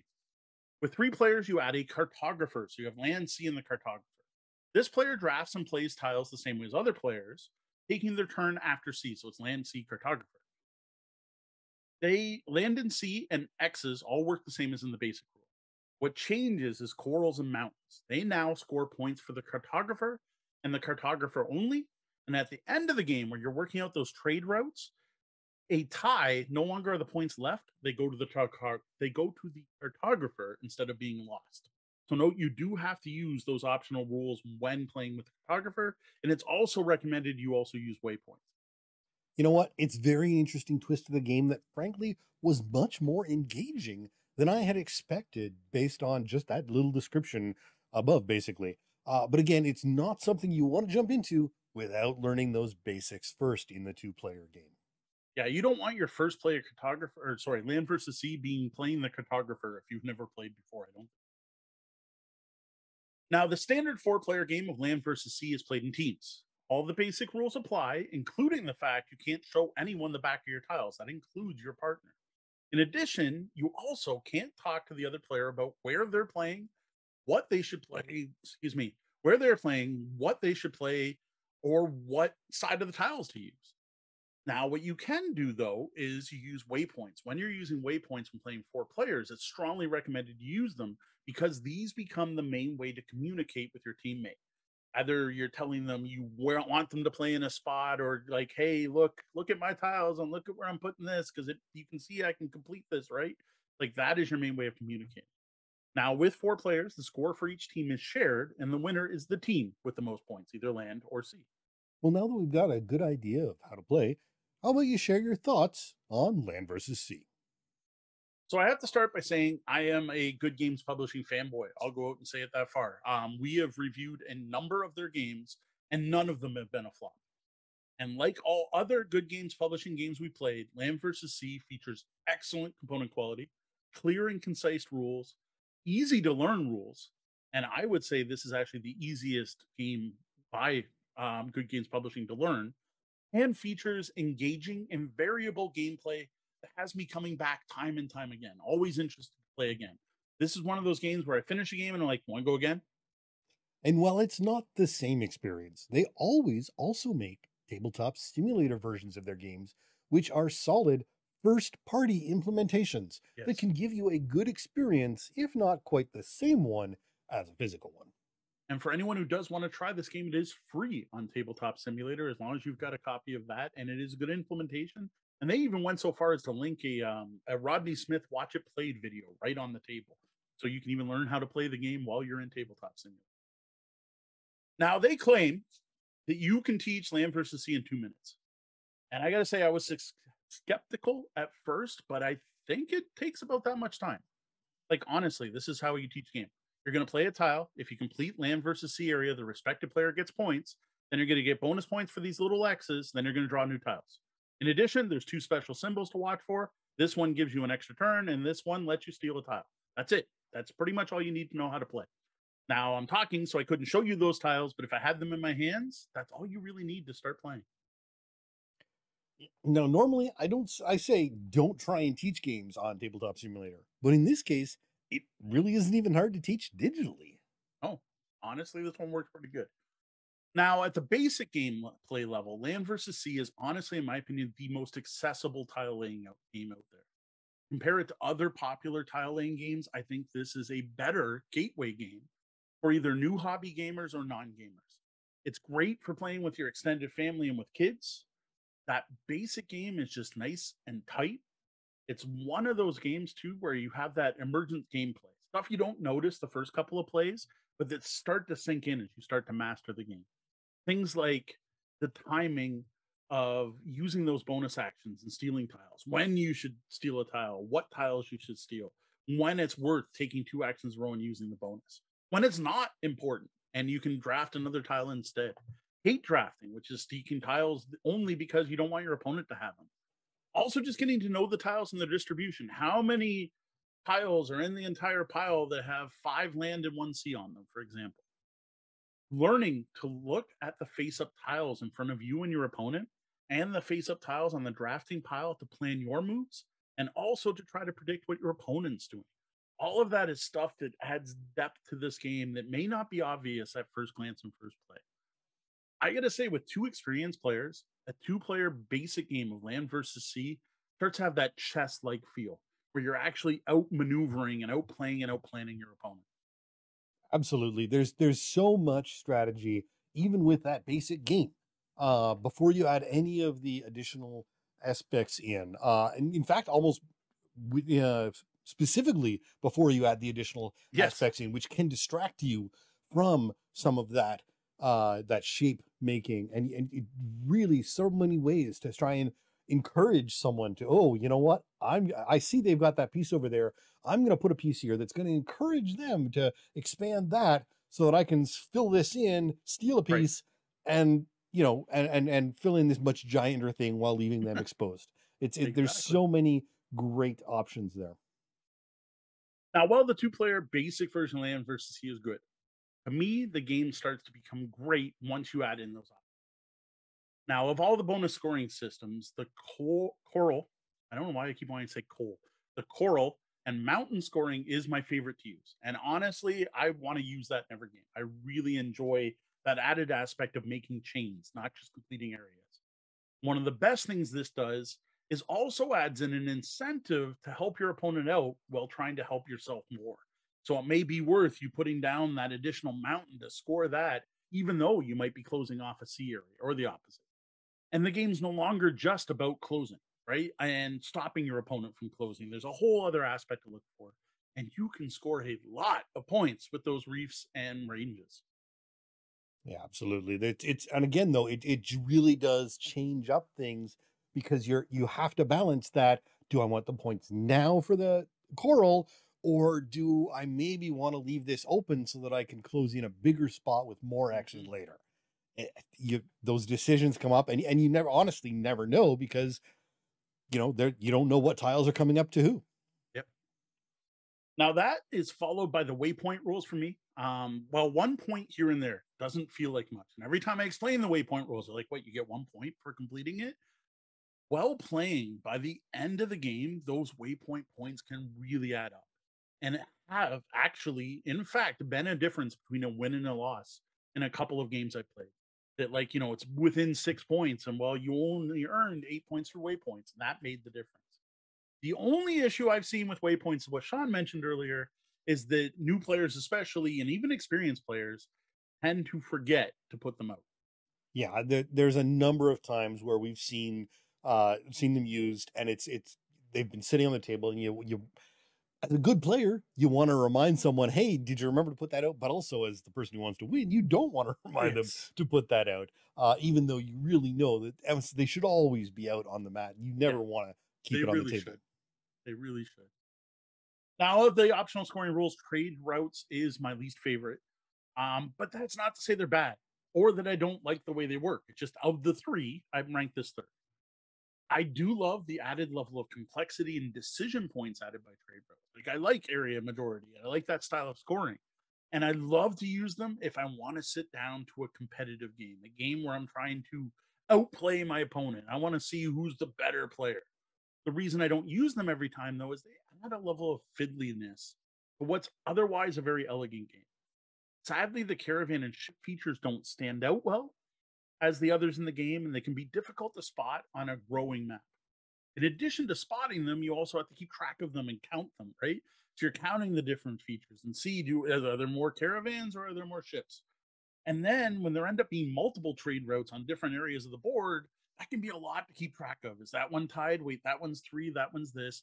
And I find it adds a lot of AP to the game and a lot more staring at the board before making your play. And then again, this comes up at the end of the game because finding all the trade routes and scoring them is just fiddly compared to I look at the score track and see who won. Now, I admit we did hack our game and we now use wooden cubes that I happen to own from other games to mark out them, make the scoring easier. But what I find is once you throw trade routes in, it's a much more serious, fiddly game that takes longer. So if I'm looking to just have a fun experience, hey, let's play a game together, chat, and hang out, I'm not going to throw the caravans in. Yeah, I have to say, when I was learning this, even though we were learning on Tabletop Simulator, I was glad that the only time we put the caravan scores in was when I was playing the cartographer, and I didn't have to worry about them except for ties at the end. Uh, it was it was nice to not have to to deal with that level of fiddliness because once you get say four trade routes out on the map, you're just spending a lot of time looking at trade routes and, and thinking about okay, I've got a trade route on this on this uh, tile do I want to go here or here or where, where is it gonna you know where's the balance already shifted one way or the other it there's a lot of of extra effort and and potential AP involved And what's what's better? Do is it is it better to claim this trade row at the end of the game or close off this area that's going to score me ten points now? Is that trade row going to grow? It just excuse me. It's just an extra level of complexity. Yep.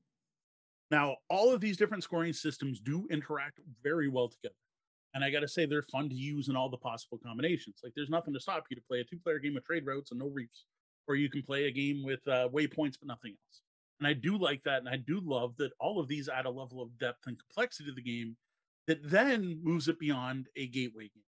And one of the things I like about this game, and like I'm obviously not in this place, but if I had a new gamer and I gifted them a copy of Land versus Sea, it's the kind of game that can kind of grow with them, right? They're like, I'm a gateway gamer. I just want to put tiles down and ma- make make patterns.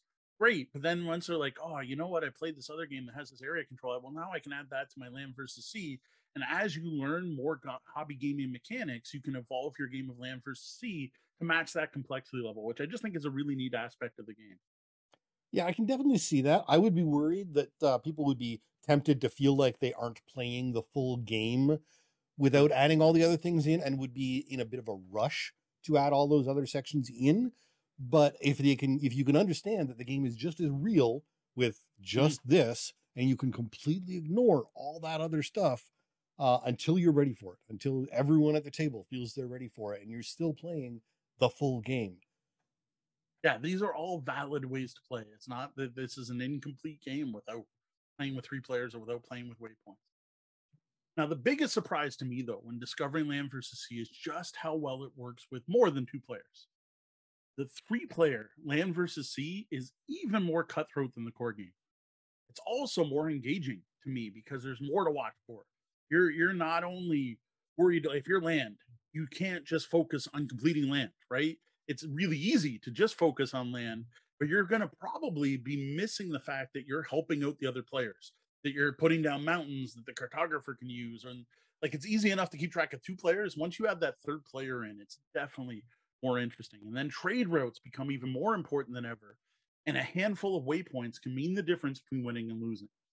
The only problem I've actually had playing with three players is that you're playing it if you're playing it with people who are used to playing two player, who are used to land and sea and using the corals, uh, the coral in the mountains, they're going to forget that the coral and mountains are now just for the cartographer. And I played games where I've had to remember they put a tile out, and I'm like, wait, remember, you're not going to get those mountain points. You're giving it to the other player, and that can be a difficult transition to someone who has played the base game many times. Fair, absolutely fair. Now, my favorite way to play land versus sea is actually four players, which is a shock to me. Is a big shock to me because, for one, I don't usually like team based games, especially team based abstract strategy games. I don't know exactly what it is about land versus sea, but it does something different enough from other games that I end up loving it playing.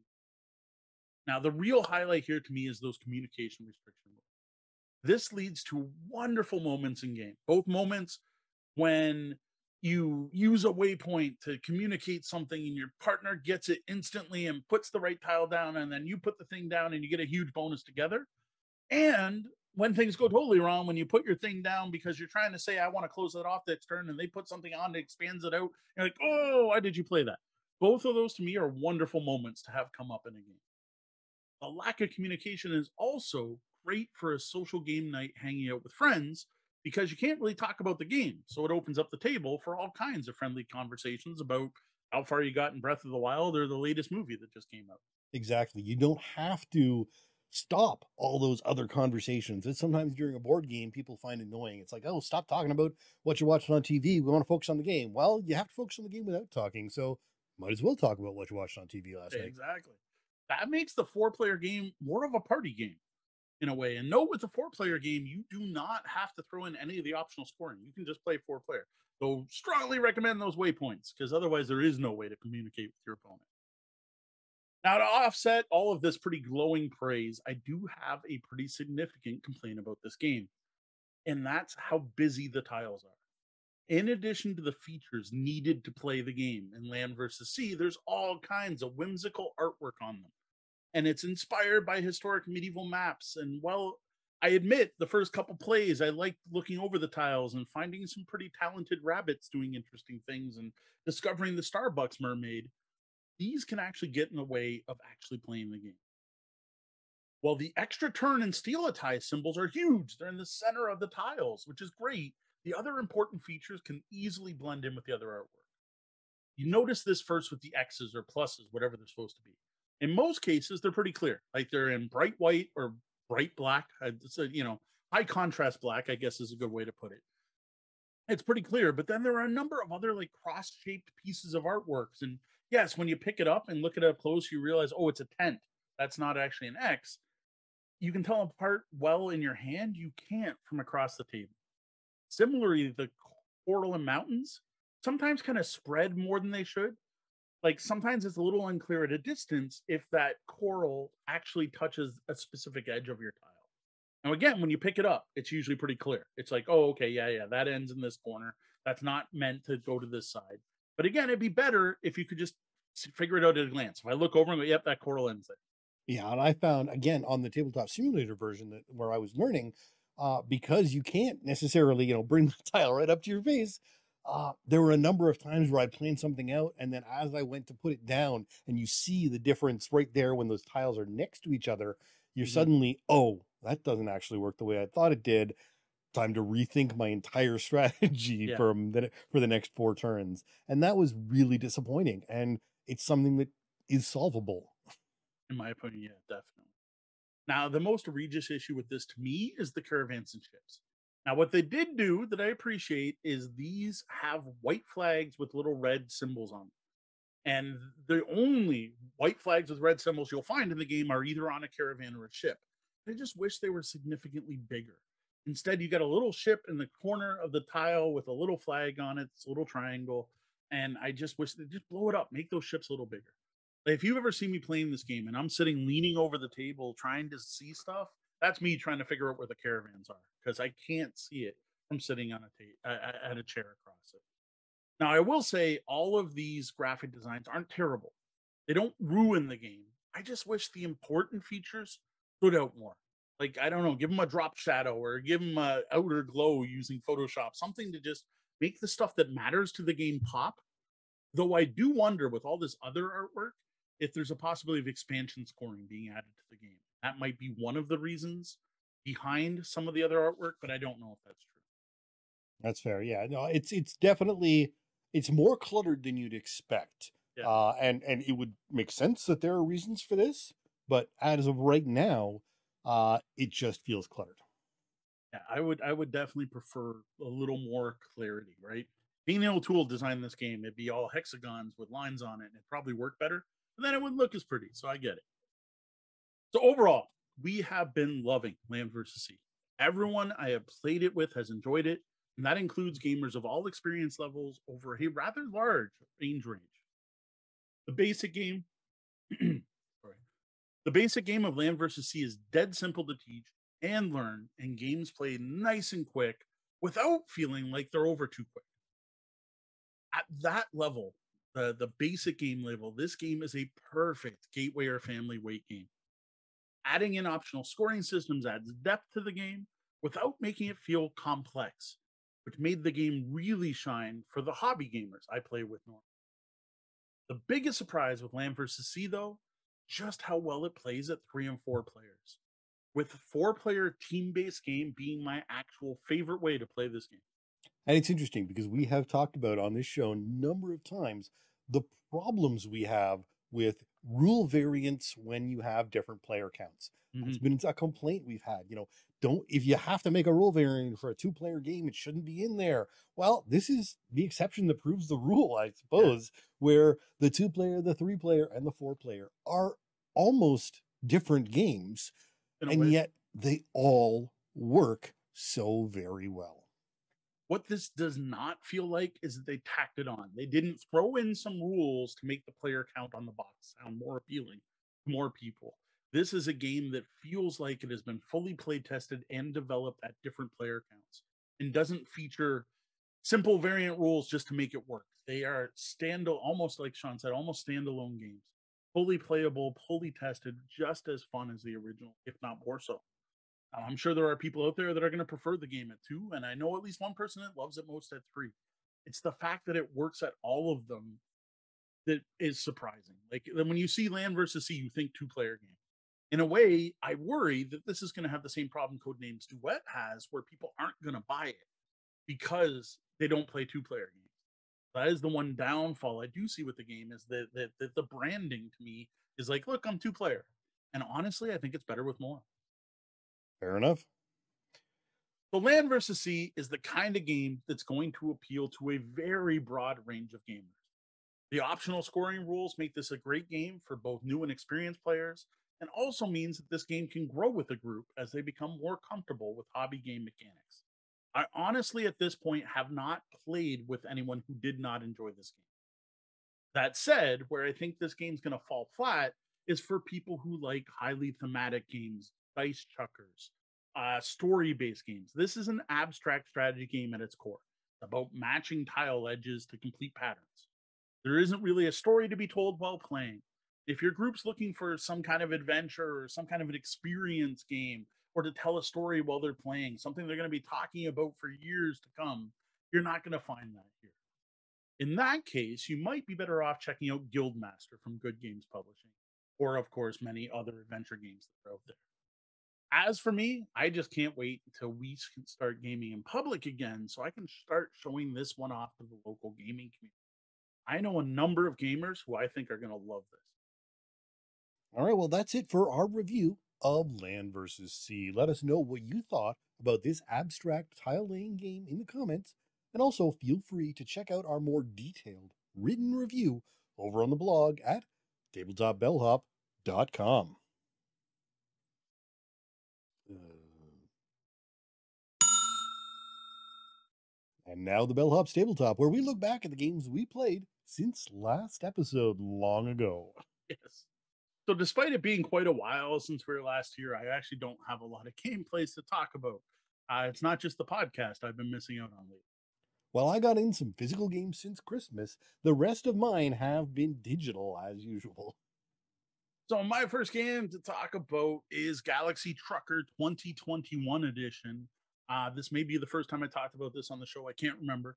Um, but I have been playing the new edition of this. Um, we have explored more of it. So the game night I'm going to talk about here is when we played our first full run. So the new edition of Galaxy Trucker has changed a couple things. So one of them is that the basic way to play the game is to pick one of three route sizes and play it. So you do a one route, a two route, or a three route using a level one, two, or three ship, depending on what size you want. And you just play through the one, and it makes it a quick filler game almost, like possibly half an hour to 45 minutes. The full game rules are now a variant way to play where you are going to do three runs. You do a run with a one ship, a two ship, and a three ship. So that is a change from the original, though you can still play the old way and always do a full run. The new feature that is added to this game are what's called awards. You do your first run, and you only use this when you're doing a full three runs. You do your first run, and at the end, everyone's going to get a reward. So it's it's it's very um, everyone gets a trophy, t-ball kind of thing. You're going to get to the end of the game, and you're going to look at all these things. So one of them is who got back with the most cargo. Another is who has the least open pipes, and another one is uh, I'm trying to remember all of them. Whatever. There, there's a bunch of different ones based on the different criteria in the game.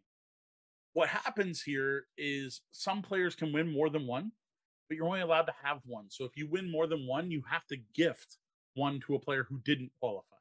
So by the end of your first round, everyone's going to have one award.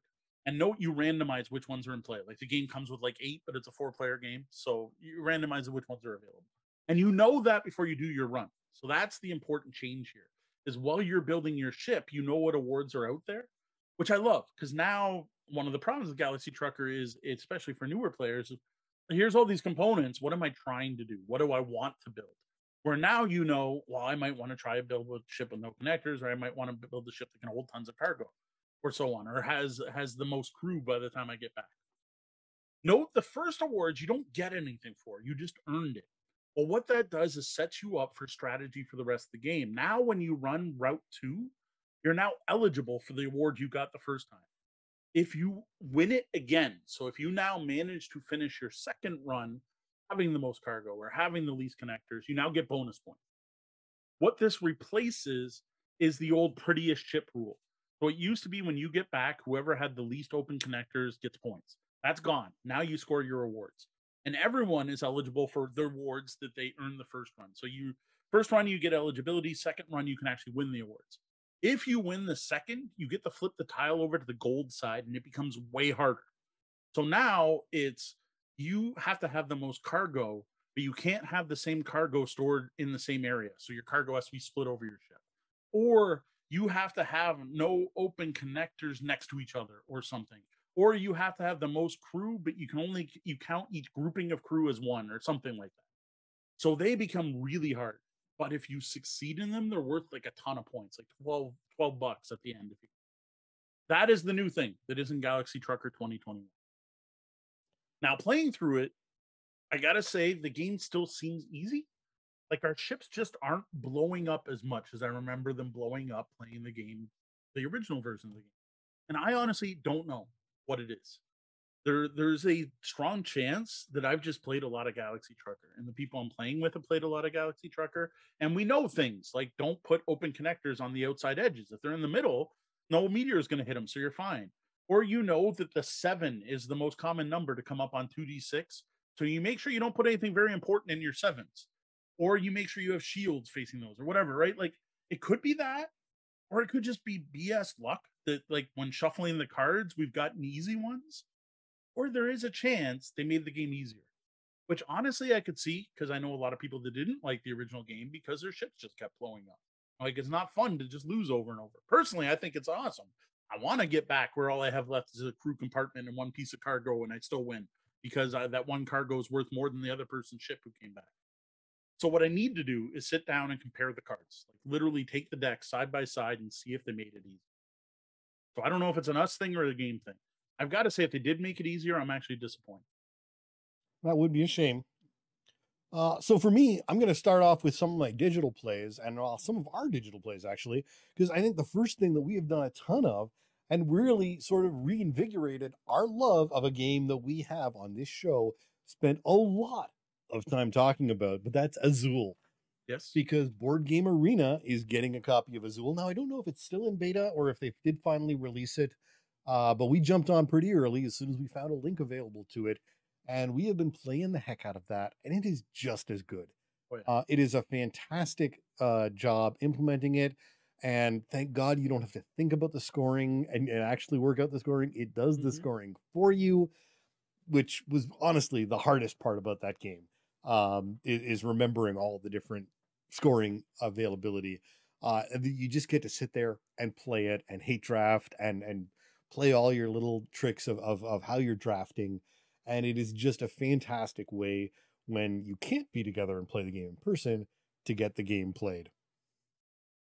I am so on the fence over one thing though. Well, I miss the tactile nature because Azul has such amazing components. I don't miss pulling out four tiles from the bag and having to fill that damn market every turn. And I'm like, so I'm Yep. like, oh, I missed the tactile, but then it's so nice to just boop, there, the market's filled. Let's go. Next Yep. round. No, absolutely. I again, it, it's a great game in person, but we can't do that. Uh, so let's play it, and this oh, is a great it is definitely a fantastic alternative playing in person. But if I had the option to do either, I'm kind of on the fence. Right. I'm like, I kind of, yeah, I'd rather sit together and play. Like, I, I don't know. I guess we could all have laptops sitting together and play. I, but I, I do miss the physical nature. But yeah, that one's excellent. All right, the next game I got played is a brand new to me game, something I look forward to playing more. This is a review copy of Doodle Dungeon. This is from Pegasus Spiel, featuring art from John Kovalic, uh, who most people would know from the as the artist from uh, the Dork Tower comic, web comic, and the Munchkin card games. He's done more work than that, but those are his big um, call to fames or whatever you want to call it, or where he's most well known. This is a flip and write game where you are going to start by drawing a dungeon. It's a it's a drafting game. You're going to flip up a bunch of cards, pick a card, then draw what's on the bottom of the card to your dungeon. You're going to keep doing that until you get through the cards a number of times. Then you're going to pass your dungeon to the player on your right, who's then going to play the hero and draw the path the hero takes through your dungeon. Of course, there's a bunch of rules for how you can place things, like walls can be placed anywhere, monsters can't be next to each other, or traps. Treasure has to be guarded by a monster, or else it vanishes, and all that stuff. You can even level up your monsters, like have level 10 orcs instead of level 1 orcs. There's a whole bunch more going on. But the basic thing is draft to draw a dungeon, pass to the right. Then you pass it back and play through it. Now, all the cards you drafted to draw your dungeon have special abilities on them. You might have like an axe for orcs, or you might have a potion of healing, or you could have a, a jumps over trap card. You're now going to play those on your opponents as you track the path the hero meets. So you're going to follow the path till it hits an object, and then you're going to do it. And while doing that, you can play cards, and there's dice rolls to see if you hurt the hero, and so on. This is way more detailed than I thought, and I made a mistake. As far as I know, we didn't play extreme, but what I decided to do is there are really three phases, right? Drawing, drawing the path, then then playing it out. I know that that second part of the game, the path, is a huge impact on the first, which leads to your scores in the third. But I didn't want to have to front load it. I didn't want to have to sit there and describe where the hero is going to go and how the path's going to work and what it's going to happen to him and how many hit points he has, how the dice are. I just wanted everyone to draw their own dungeon. So what I ended up doing was going, you know what? This is a flip and write, right? Flip and writes are quick, right? Flip and writes, rolling rights are filler games. Silly me, I didn't look at the box. So what we'll do is we'll sit down, just play, just build the dungeon, make something that looks cool. All the rules, make something that looks cool. Then we'll pass it off. We'll do the hero thing, and we'll be like, "Oh, okay, that's how I should have built my dungeon." Well, the problem was this game is not a filler game in any way. Um, this is I wouldn't call it long, but for what it is, it's felt long. It took us over an hour for the first run. And this wasn't just because it was our first run. Like I looked at it and Board Game Geek, it's saying it's a 45 to 60 minute game. That's with experienced players who know what they're doing. And it became very obvious that we didn't know what we were doing in the first half when we got to the second half. What I really need to do is now play this again with the same people. We played with Tori and Kat, Deanna played. And this was at the end of the night. So we didn't get to that second round. Now, I will say it was fun what we did do, but do not like I, it's my fault. I, I was roll and write, flipping right. It's quick, right? That that's the kind of games you just roll a bunch of dice, you're done in half an hour. That's not this. There there is a lot of strategy in this game. Strategy being long-term planning. And there's tactics because of that whole card play. You've got a deck of cards, and do you use your axe for your orc now, or do you save it for that orc later? I don't know if there's a better way to teach this game. So to me, this is one of those games that needs a tutorial. This needs a quick walkthrough where maybe you only use like a six by six area of your dungeon to kind of explain it. Um, the way the AI works is not intuitive. Um, the rules for building paths aren't what I would call simple. So overall, this thing was just heavier than I thought. And because of that mixed expectation or missed expectation, it didn't go over as well as I thought it would. Now, when I sit down and teach this to another group of gamers, I will be able to explain it. I'm like, hey, do you guys want to play like uh do you want to build a dungeon and fight heroes? Not a hey, want to play a quick game where we build a dungeon, right? It's just I, I need to present it differently. And I still honestly don't know the best way to teach it. What I'm thinking will probably work is now I have sheets that are filled out so I could show people. I could be like, look, this is the dungeon someone made, and here's the path that was taken. All right, fair enough. Well, I guess for my second game, again, I'm going digital. Now, this, it turns out I actually looked and it, it, I did actually start this before our last episode. Uh, but it's interesting because I did the same thing as you did with Doodle Dungeon. I jumped in on, without knowing what I was getting into. So I jumped in and someone invited me to a play of Deus, which is a 2014 strategy game, card playing sort of take over the world, share, shared map with gods and all this stuff. And I figured, okay, sure, you know, I'll get in and, and, play it. Well, we've been playing since November 24th. It's still not wow. over yet. I still don't know what I'm doing. Uh, okay. honestly, I mean, I know how to play. I know how to put, you know, things on the map and, and move, move my armies around. Uh, I know how to sacrifice cards to the gods to get more resources. Uh, the game doesn't make any sense to me yet. Uh, Castle of Burgundy, I knew I was doing things wrong, but it was making sense that I was learning along the way. I got no clue what Deus is about. And I mean, you're you're building a world and there's gods, but I don't know what how when this game is ever going to end. Uh, it's listed as a 60 to 90 minute game on Board Game Geek, but I mean, we're into our second month now, just, and we play. I mean, we play this regularly. This isn't a game where it goes you know, five days without a turn being played. Um, so I, I do not no understand. one knows what the victory condition is. Yeah, I, I, keep dancing around the board or something. I, I do not know what Deus is. I, it's so, it's an interesting one. I'm gonna have to watch a uh, watch a play on it so, at some point just to figure it out. So Deus is a game I own. Okay. I brought it out to one public play event at the CG Realm. We muddled through it. It seemed excellent, but I never wanted to teach it again. Interesting. Because it was just just I know it's about it, it, it's gizmos. It, it's you're trying to stack the same god cards in rows to get them to be more powerful. So say oh, you've got like okay. whatever an Ares card, and that lets you move a unit once. I'm totally making this up. Well, if you play another Ares card, you can now move all your units twice. You can play it another time, and you can now move all your units three times. Or like say Hephaestus gives you wheat. Well, one Hephaestus card gives you one wheat, a second gives you more.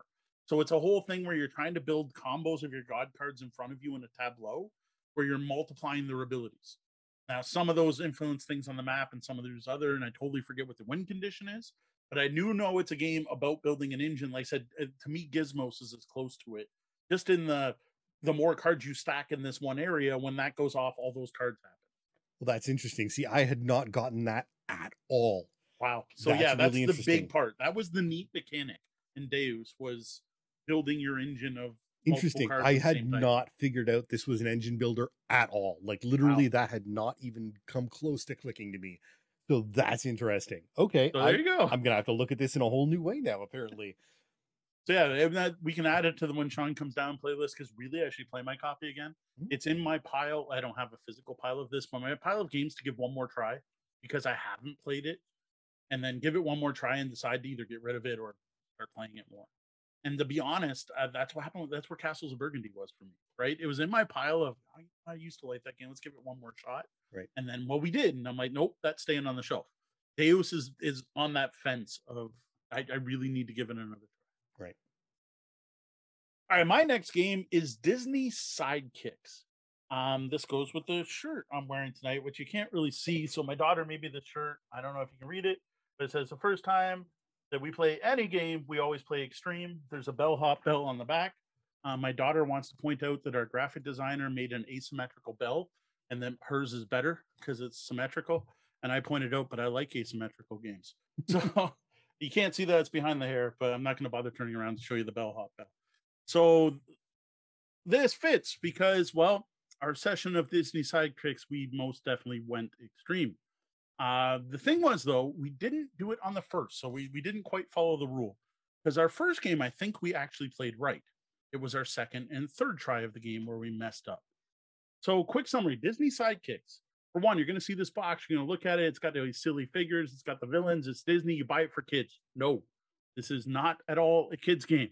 This is a hard cooperative strategy game from Eric Lang, the designer of Blood Rage and um, what was the, the the Rising Sun and lots of other games. Fantastic designer. This is this is not a Prospero Hall. Let's put a pretty solid game with a Disney theme. This is a complicated strategy board game that many kids are probably now crying because Christmas hit and they got it for Christmas and they can't figure out how to play.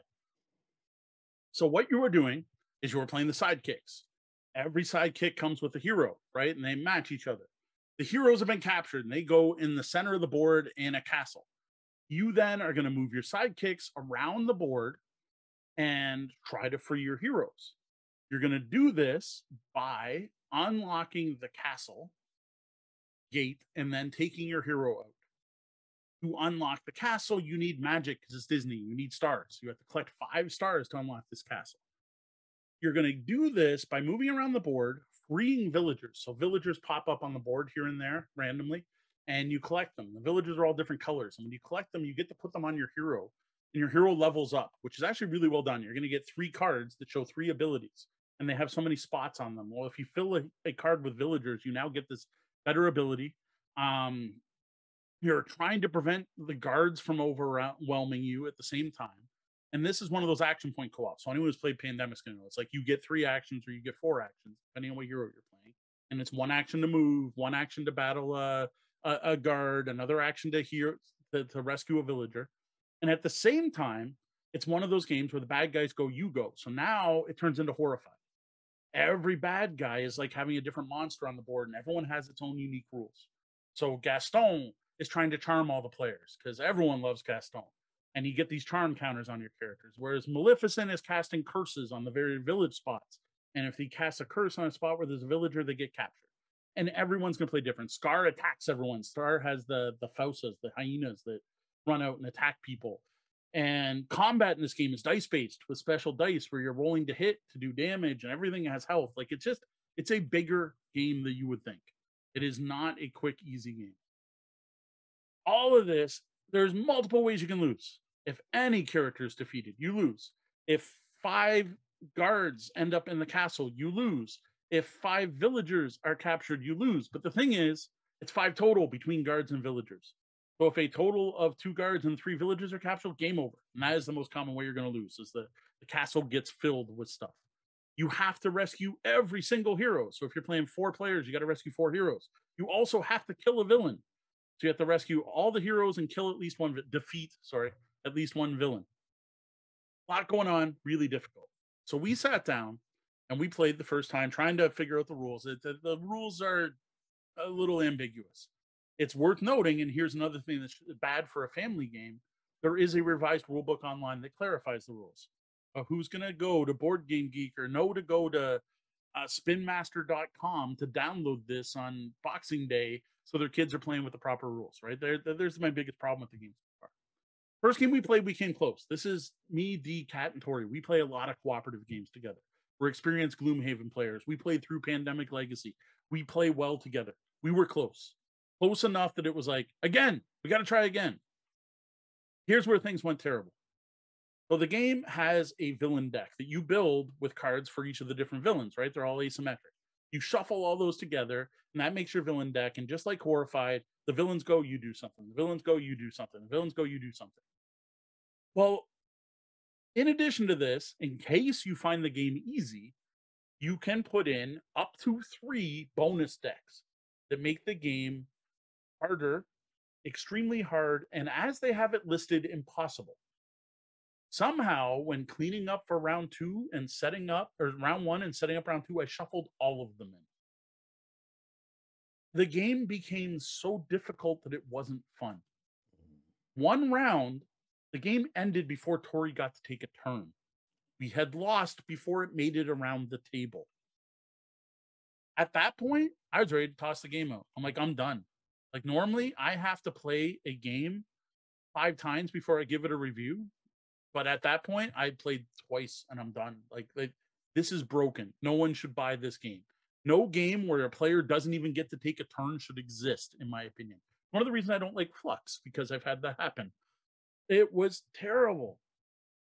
And we didn't realize until I was cleaning up at the end of the night. I was like, hey, where are the bonus decks? Because I want to make sure they're separate. And then I found out they were mixed in. So I need to review this one again. I, I need to re- re- review my review, I have, to revise my review. This game is not necessarily garbage that should be thrown out. What I will say stands is this is not a kid's game. This is not a beginner's game. And the biggest problem with this game is, is that's how it's being marketed. Is it looks like a kid's game. It's ending up on Target and Walmart shelves, and the wrong people are going to buy this game. That's unfortunate. So, for me, I've been playing a game that I actually have had some similar experiences like that, but not with the current set. So, yes. uh, despite problematic issues with J.K. Rowling's opinions on various things. My family is a fan, are fans of the Harry Potter world, and in specifically the Hogwarts Battle deck building card game. It's probably the favorite, my favorite kid's favorite game there is. Now, as we've talked about many times in the past, the Monster Box of Monsters is crazy difficult. We have still never finished it. Uh, in fact, it has kept the game off the table because the kids know how hard it is, and they don't aren't necessarily sure that they want to go in for that kind of disappointment. Well, for Christmas, the Charms and Potions box arrived, and we decided to play again. And we had a chat about Joanne Rowling's, and uh, my kids are well aware that she is a transphobe, uh, and they know what that means. Um, you know, my daughter's in high school, my son's in uh, grade seven, and they understand these topics better than I ever did. Uh, so we've had that discussion, but the game is still fun. And I have to say that Charms and Potions brings back the fun that was lost from the Monster Box of Monsters. And what I'm hoping is, uh, and it's not super simple. We have, uh, you know, we've played now three boxes. Uh, we played box one and, and won it pretty pretty easily. Box two took us two tries. The first time, uh, again, we mixed everything in and started playing. And what we should have done is made sure we planned ahead a little bit. Um, because after getting crushed, we knew what was coming and were able to set up ourselves a little better and know how to plan. So when we took it on the second time, uh, we stomped it pretty seriously because we had all the planning available to us. Nice. Uh, the third one, um, part of you, we the the monsters that we randomized in and the uh, way the monsters came out or and the villain or the villains sorry came out in the game made it punishingly difficult. Uh, but uh-huh. it was actually punishingly difficult enough that we were laughing about it. um, it was, it was, I mean, it, there was no way we were going to win, but it was fun. It wasn't, again, it wasn't Monster Box of Monster painful.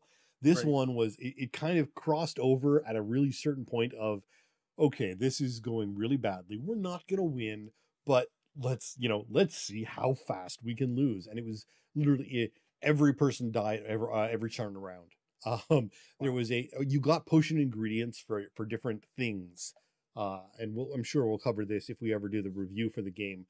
But uh, one of the things in this particular bug game was you got potion ingredients if some player at the end of your turn had 10 like full a full 10 health. Oh, It was once did we ever get that Hmm. bonus because at the end of the by the end of the turn there was never anyone with full health. But again, it's fun. And what I'm thinking is that this new all these new mechanics that are being added in through this box are hopefully going to make the monster box more fun and enjoyable so that we can get through that. And then we will have all finally, you know, all three boxes available to us to enjoy and have fun that's a with game. as a full complete game and uh, we won't need to give any more money to a certain person and we just have a really great deck builder that is very customizable because there's a whole bunch of new mechanics that have been brought in here uh, this the order they were released in was uh, hogwarts monster box charms and potions Yes, though they are very clear that you do not have to Yes. play or finish No, monsters. absolutely. You do not have to have any of them. Uh, one of them, they, they and they they have keep kept tweaking things uh, a little bit. So now, um, in Monster Box, they added the ability to once per game you're allowed to wipe the market. Now in this new box, the new setup is any duplicates stack on top of each other, uh, and that's a great advantage that really makes the market more flexible but also actually has some gameplay like it works as part of the gameplay in some of the Mm. things that come up so it's uh it's definitely enjoyable So, did you keep in what you had unlocked for Monster Box? yeah in? absolutely we haven't taken anything out I'm just wondering if that might have made for that almost impossible win combo. uh it possibly again it was Like, just, I'm just wondering if it might be easier to take out what you have done in Monster Box and play Charms as if you hadn't started uh, Monster. you could i mean i don't really i'm too lazy to go through all that but realistically um it's very it was it, it, it was just a pure this is about the worst possible set of three villains that could possibly start Sounds good. All right. So the final game I have to talk about is Quezzle from uh Unidragon Games or Unidragon, whatever. I guess it's not games. Unidragon. Uh, this is the puzzle thing. I think I mentioned on the show. Maybe it's been long enough I hadn't. I at least I at least remember opening the box at the end of the show. But this is a four-part wooden puzzle. Laser cut wood, very bright, vibrant artwork, high quality, high-end puzzle. Um, we have at this point finished the final puzzle itself, the four pieces, put them all together with the very cool linking pieces that make it into one puzzle. But we've only done the the quest, the the game part of it for the first three puzzles at this point. We were so close. I was hoping this last couple days we would have got it done. The puzzle's awesome. Like like the quality of this puzzle, how well cut the pieces are, the uniqueness of the shapes is really well done the pieces are awesome. Uh, I, I love they they've added in all these unique shapes, and and by unique I mean like actual shapes of things. Like there is a literal minotaur with spiky horns holding an axe. That's a puzzle piece that fits in. There are dragons that are in there. There's planes. There's a rocket rocket ship. Like they're just neat pieces to discover while playing the game. Finding those unique pieces while playing is really neat. Then there's the quest part. This honestly is pretty lame. Uh, it's it's Where's Waldo. That's all it is. There is a bunch of Where's Waldo puzzles that are find the five blue chests, find the stars, find the Yeti, find the red ninja, find the. It's all find stuff, and then every puzzle has one maze. Now I knew the puzzles would have mazes, but I thought it'd be like a thing where you're tracing through the whole puzzle. No, it's like the basket of one balloon has a maze that you can solve by instantly looking at it. Like, like the, the maze part was really just. I actually love mazes, but I want complicated, hard mazes. I don't want mazes a three year old can solve. Though there is one neat aspect. All of these quests to find these things, at least some. I, I we'll detail it more in a full review if I decide to do one. But you're gonna find these, and while I'm building the puzzles, right? So I'm, I'm, I'm we're playing this game. We built everything. We're like, man, there's some weird shaped pieces. Like like there's a series of pieces that have look like key ends on, them. Or there's like pieces that have weapons, like axes and swords and tridents. And then there's the stars, like there, there's obvious star shaped puzzle pieces as well. Well, once we started doing the quest, and I got my youngest daughter because she actually likes Where's Waldo, so I will admit she enjoyed finding these pieces. And the game comes with a piece of stick tack, literally for pulling out puzzle pieces. So you're like, let's pull out everything we have to find. Well, we noticed that every treasure chest are the pieces with the keys on them. And we noticed every ninja and and I don't know why they're ninjas and and mummies, but they're ninjas and mummies that are the bad guys. Every ninja and mummy one is one of those ones that has the weapons on them. And of course, the stars have the stars. And there's also butterflies. And when you find the butterflies, well, it ends up once you take these pieces out, they fit together, which is really neat. So you have a puzzle where you're pulling pieces out to make a smaller puzzle. And as far as we can tell, there are at least four of these, and there might be more. What's confusing though is some of these don't seem to, like the Minotaur. There's a spot where it says find the Minotaur and the people trying to defeat them. And in that puzzle, there's a Minotaur and there's a bunch of knights and stuff. And I think all we're getting out of that are wooden pieces we could technically play to duel with, you know, like army men those don't fit with anything else. So it's a little weird. I'm like, well, it'd be really nice if you told me what's just seek and find and what makes new puzzles. I guess that's part of the puzzle. Now there are 3D figures you make with leftover pieces. Those are cool. They're nice. They're chunky. They're wood. I like them. Um, my final like thing though is this is not a game. Like like they're trying to sell it as Quezzle. It's half quest, half puzzle, and I'm like, nah, it's a puzzle with Where's Waldo. And to be honest, I don't think that's all that unique. There have got to be jigsaw puzzles out there that have you find things in the puzzle. I, I don't know this because I'm not a big jigsaw puzzle fan. And the app is incomplete, which I know uh, a, another gamer, I'm not going to mention his name, another podcaster has been rage, raging at them for not completing their app. Well, it ends up the app is a stretch goal for Kickstarter that wasn't reached. So they gave you an AR experience for the first puzzle, which is actually really well done. It's it's it's neat. I don't want to spoil it in case anyone does pick this up. Not that I'm giving a raving review here, but they there was a stretch goal to unlock app integration for the other three puzzles. They never hit that stretch goal. So to be honest, they're not really selling you short, but they should say that somewhere on their website. Plus, this podcaster also thought there was supposed to be assembly instructions for the 3D figures in the app. Now, I will admit I can't find anything where indicating that. And to me, the 3D figures were part of the puzzle. I've got these leftover pieces. What do I do with them? And I got to admit, they weren't necessarily easy to figure out. So, but the app, uh, uh, incomplete app, like it, and it says in development for the other three sections, they're never going to do it. When I wrote Unidragon, they're like, no, that is not part of our plans. We did not reach our funding goal to create the AR experience we wanted to. Well, then putting in development is a lie. Yeah. Unless they're going to launch another Kickstarter and add it. I don't know. So overall, I had a lot of mixed thoughts. The kids are digging it. The kids like puzzles. And what's interesting is it worked well for our particular family.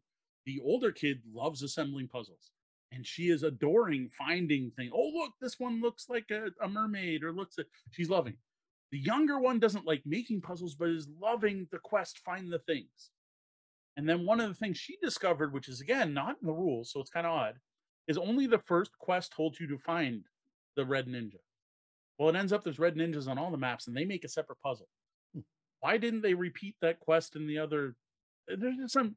There's also translation issues serious translation issues. There's some badly broken English, an incomplete app. Like I, I just have such mixed thoughts on this thing, and I don't even want to mention the price of this thing. Like I realize high end puzzles aren't cheap, but this is uh, to me the price is astronomical for what you're getting.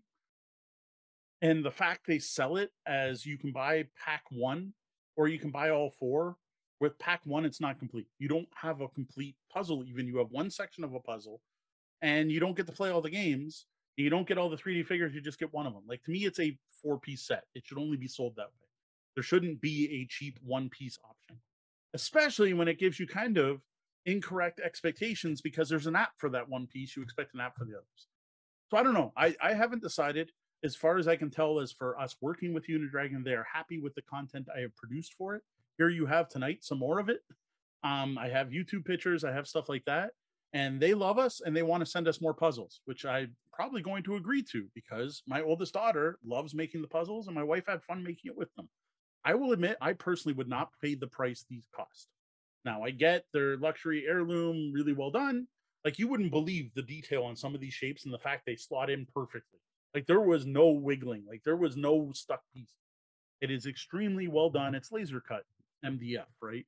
and it's nice, nothing's chipped. So I don't know. I, I may or may not do a formal review. It's probably going to be one of those. If I don't have time to review something else off the pile of obligation, I'll finally review Quezzle. As it is, if you're willing to spend the money, it's neat. It's very well done. If you like puzzles, it's possibly worth it. What I will say, based on their boxing days, wait for a sale because they seem frequent.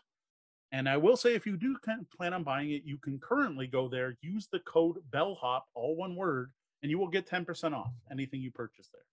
So that does at least help with that price. All right. Well, now we know about Quezzle. Uh, how about a look ahead? What do you have planned for the coming weeks? All right. So one of the things is we need to finish the final part of the Quezzle, um, the part four of the map, and then supposedly there's something else with the app where we have a final answer, which I don't want to spoil it, but I can't believe that was the final answer. Um, I kind of can tell because the answers are on the 3D figures, and I built the 3D figures, so I've read the words on the 3D figures, and it, I'm not spoiling it. It tells you to do this. It's like use them to guide your way. Having done an escape room in a box once, I can tell what's going to happen. Uh, but I do need to do it, and that's sit down with the youngest daughter and let her find the ninjas and the spies and the butterfly and the egg. Um, I have a pile of stuff to unbox uh, this year for Christmas. My my game pile included Discover Lands Unknown, which is something I've been curious about for a really long time. That is the procedurally generated board game from Fantasy Flight, where every copy is unique. It came out at the same time as uh, Keyforge, the deck building game. So we'll get to see my my unique copy of Discover Lands Unknown. I got Dune Imperium. There's 2021 hotness for you. I won't be talking about it till 2022, but that is the the Dune base based on the new movie. Um, mix of deck building and worker placement. Supposedly never been done before. Interestingly, I also got Lost Ruins of Arnak, which released the same week and features deck building and worker placement. So I get to be one of those podcasters who compares those two games, just like everyone else out there, and find out if I prefer Ruins of Arnak as everyone else does. Um, I've got the command station expansion for Space Base, which is mainly a box for the game and sleeves for the cards, but does include a set of new new cards as well. So there's that. I got Underwater Cities, which everyone tells me kills Terraforming Mars. I don't believe it. Terraforming Mars is still one of the best games I've ever played, but I'm looking forward to finding out if that's true or not. I have unlocked Star Wars, which I've never played an unlocked game, so it'll be interesting to compare those to Exit. Now, I have heard they're too easy, but what's good about that is my youngest daughter is like, you are not playing that without me. So it came from the family. So I'm looking forward to playing that one with the kids. Then we have Downfall of Pompeii, which would be like, what the heck? Like, you want to talk about old crusty games? This is an old Mayfair game about Pompeii exploding, where you are literally trying to outrun other people and you get to throw your opponent's cubes in a volcano. Uh, it is, is a uniquely themed games. And where that came from is Princess Auto had a board game selection for the holidays, and Dee was able to get both uh, Discover Lands Unknown and Pompeii for a ridiculously low price. So those were kind of like bonus gifts. Like, how could I not? They were so cheap. And well, there's something I'm going to crack open at the end of the show tonight. That's a big box there that says Hasbro Pulse all over it. So I am looking forward to diving into that. Now, as for what I'll probably actually do based on priority and the fact we do have games of obligation and we've been off air for a month, is we got to finish off Quezzle, get those unboxings done so I can start opening them. I want to finish Forest of No Return for Aventuria because, as I mentioned when we reviewed it, we lost. So we still need to go back through that, try to finish it. And I need the kids to try Doodle Dungeon because I think they're going to dig it.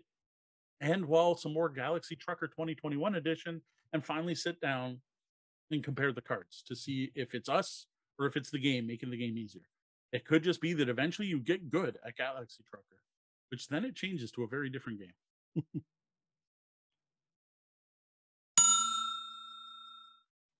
and now, a quick shout out and a thank you to our VIP guests, our Patreon backers. We greatly appreciate their support. Evil John, thanks, Mr. Carney, and awesome to see you in the chat earlier. I don't know if he stayed for the whole show, but it was great to see his name there. Donna, thank you, Donna. Courtney Jackson, thank you. Mac Lichtenwaller, thanks, Matt. Roger Malash, who is dying to play games in person with me again and keeps reaching out. I'm sorry, man. We have two people in the family who are immunocompromised. Just not worth the risk to play some games. What I need to do is I need to get him on board Game Arena and start playing some games with and try we need to sit down with him and try his latest version of his spider game he has mm. Completely revised it, supposedly. All right. He still has the neat card thing at the bottom. Well, that was the double bell. Ah, my coffee's done. We've been here long enough. It's after midnight. It's time to lock the front doors. Though the doors to the lobby are closed, you can always find us all over the web and social media as Tabletop Bellhop, one word. You can visit our website at tabletopbellhop.com, find our newsletter at newsletter.tabletopbellhop.com, and find our podcast on your podcatcher of choice. Anyway you go. Links down below. And remember, throw us a review on um, what's that? Uh, the Spotify. That's what it is. Spotify now has reviews. Would love to see some reviews. There are a lot of people listen to podcasts on Spotify, so that's one of the places we would love to get more attention. Also, if you like the content we're providing and want to support our continued efforts, we've still got a Patreon at patreon.com slash tabletopbellhop, where not only can you offer your support, where we can hope to make this show even better, you can get some cool bonus content. Well, that wraps up the time we have for the show tonight. For the lobbyists, thanks for joining us. Be sure to stick around and join us in the penthouse suite for the after show. And stop by on YouTube Sundays for brunch. For Tabletop Bellhop Gaming Podcast, I'm Sean. And I'm Moe. Thank you. And, game, Game on. on.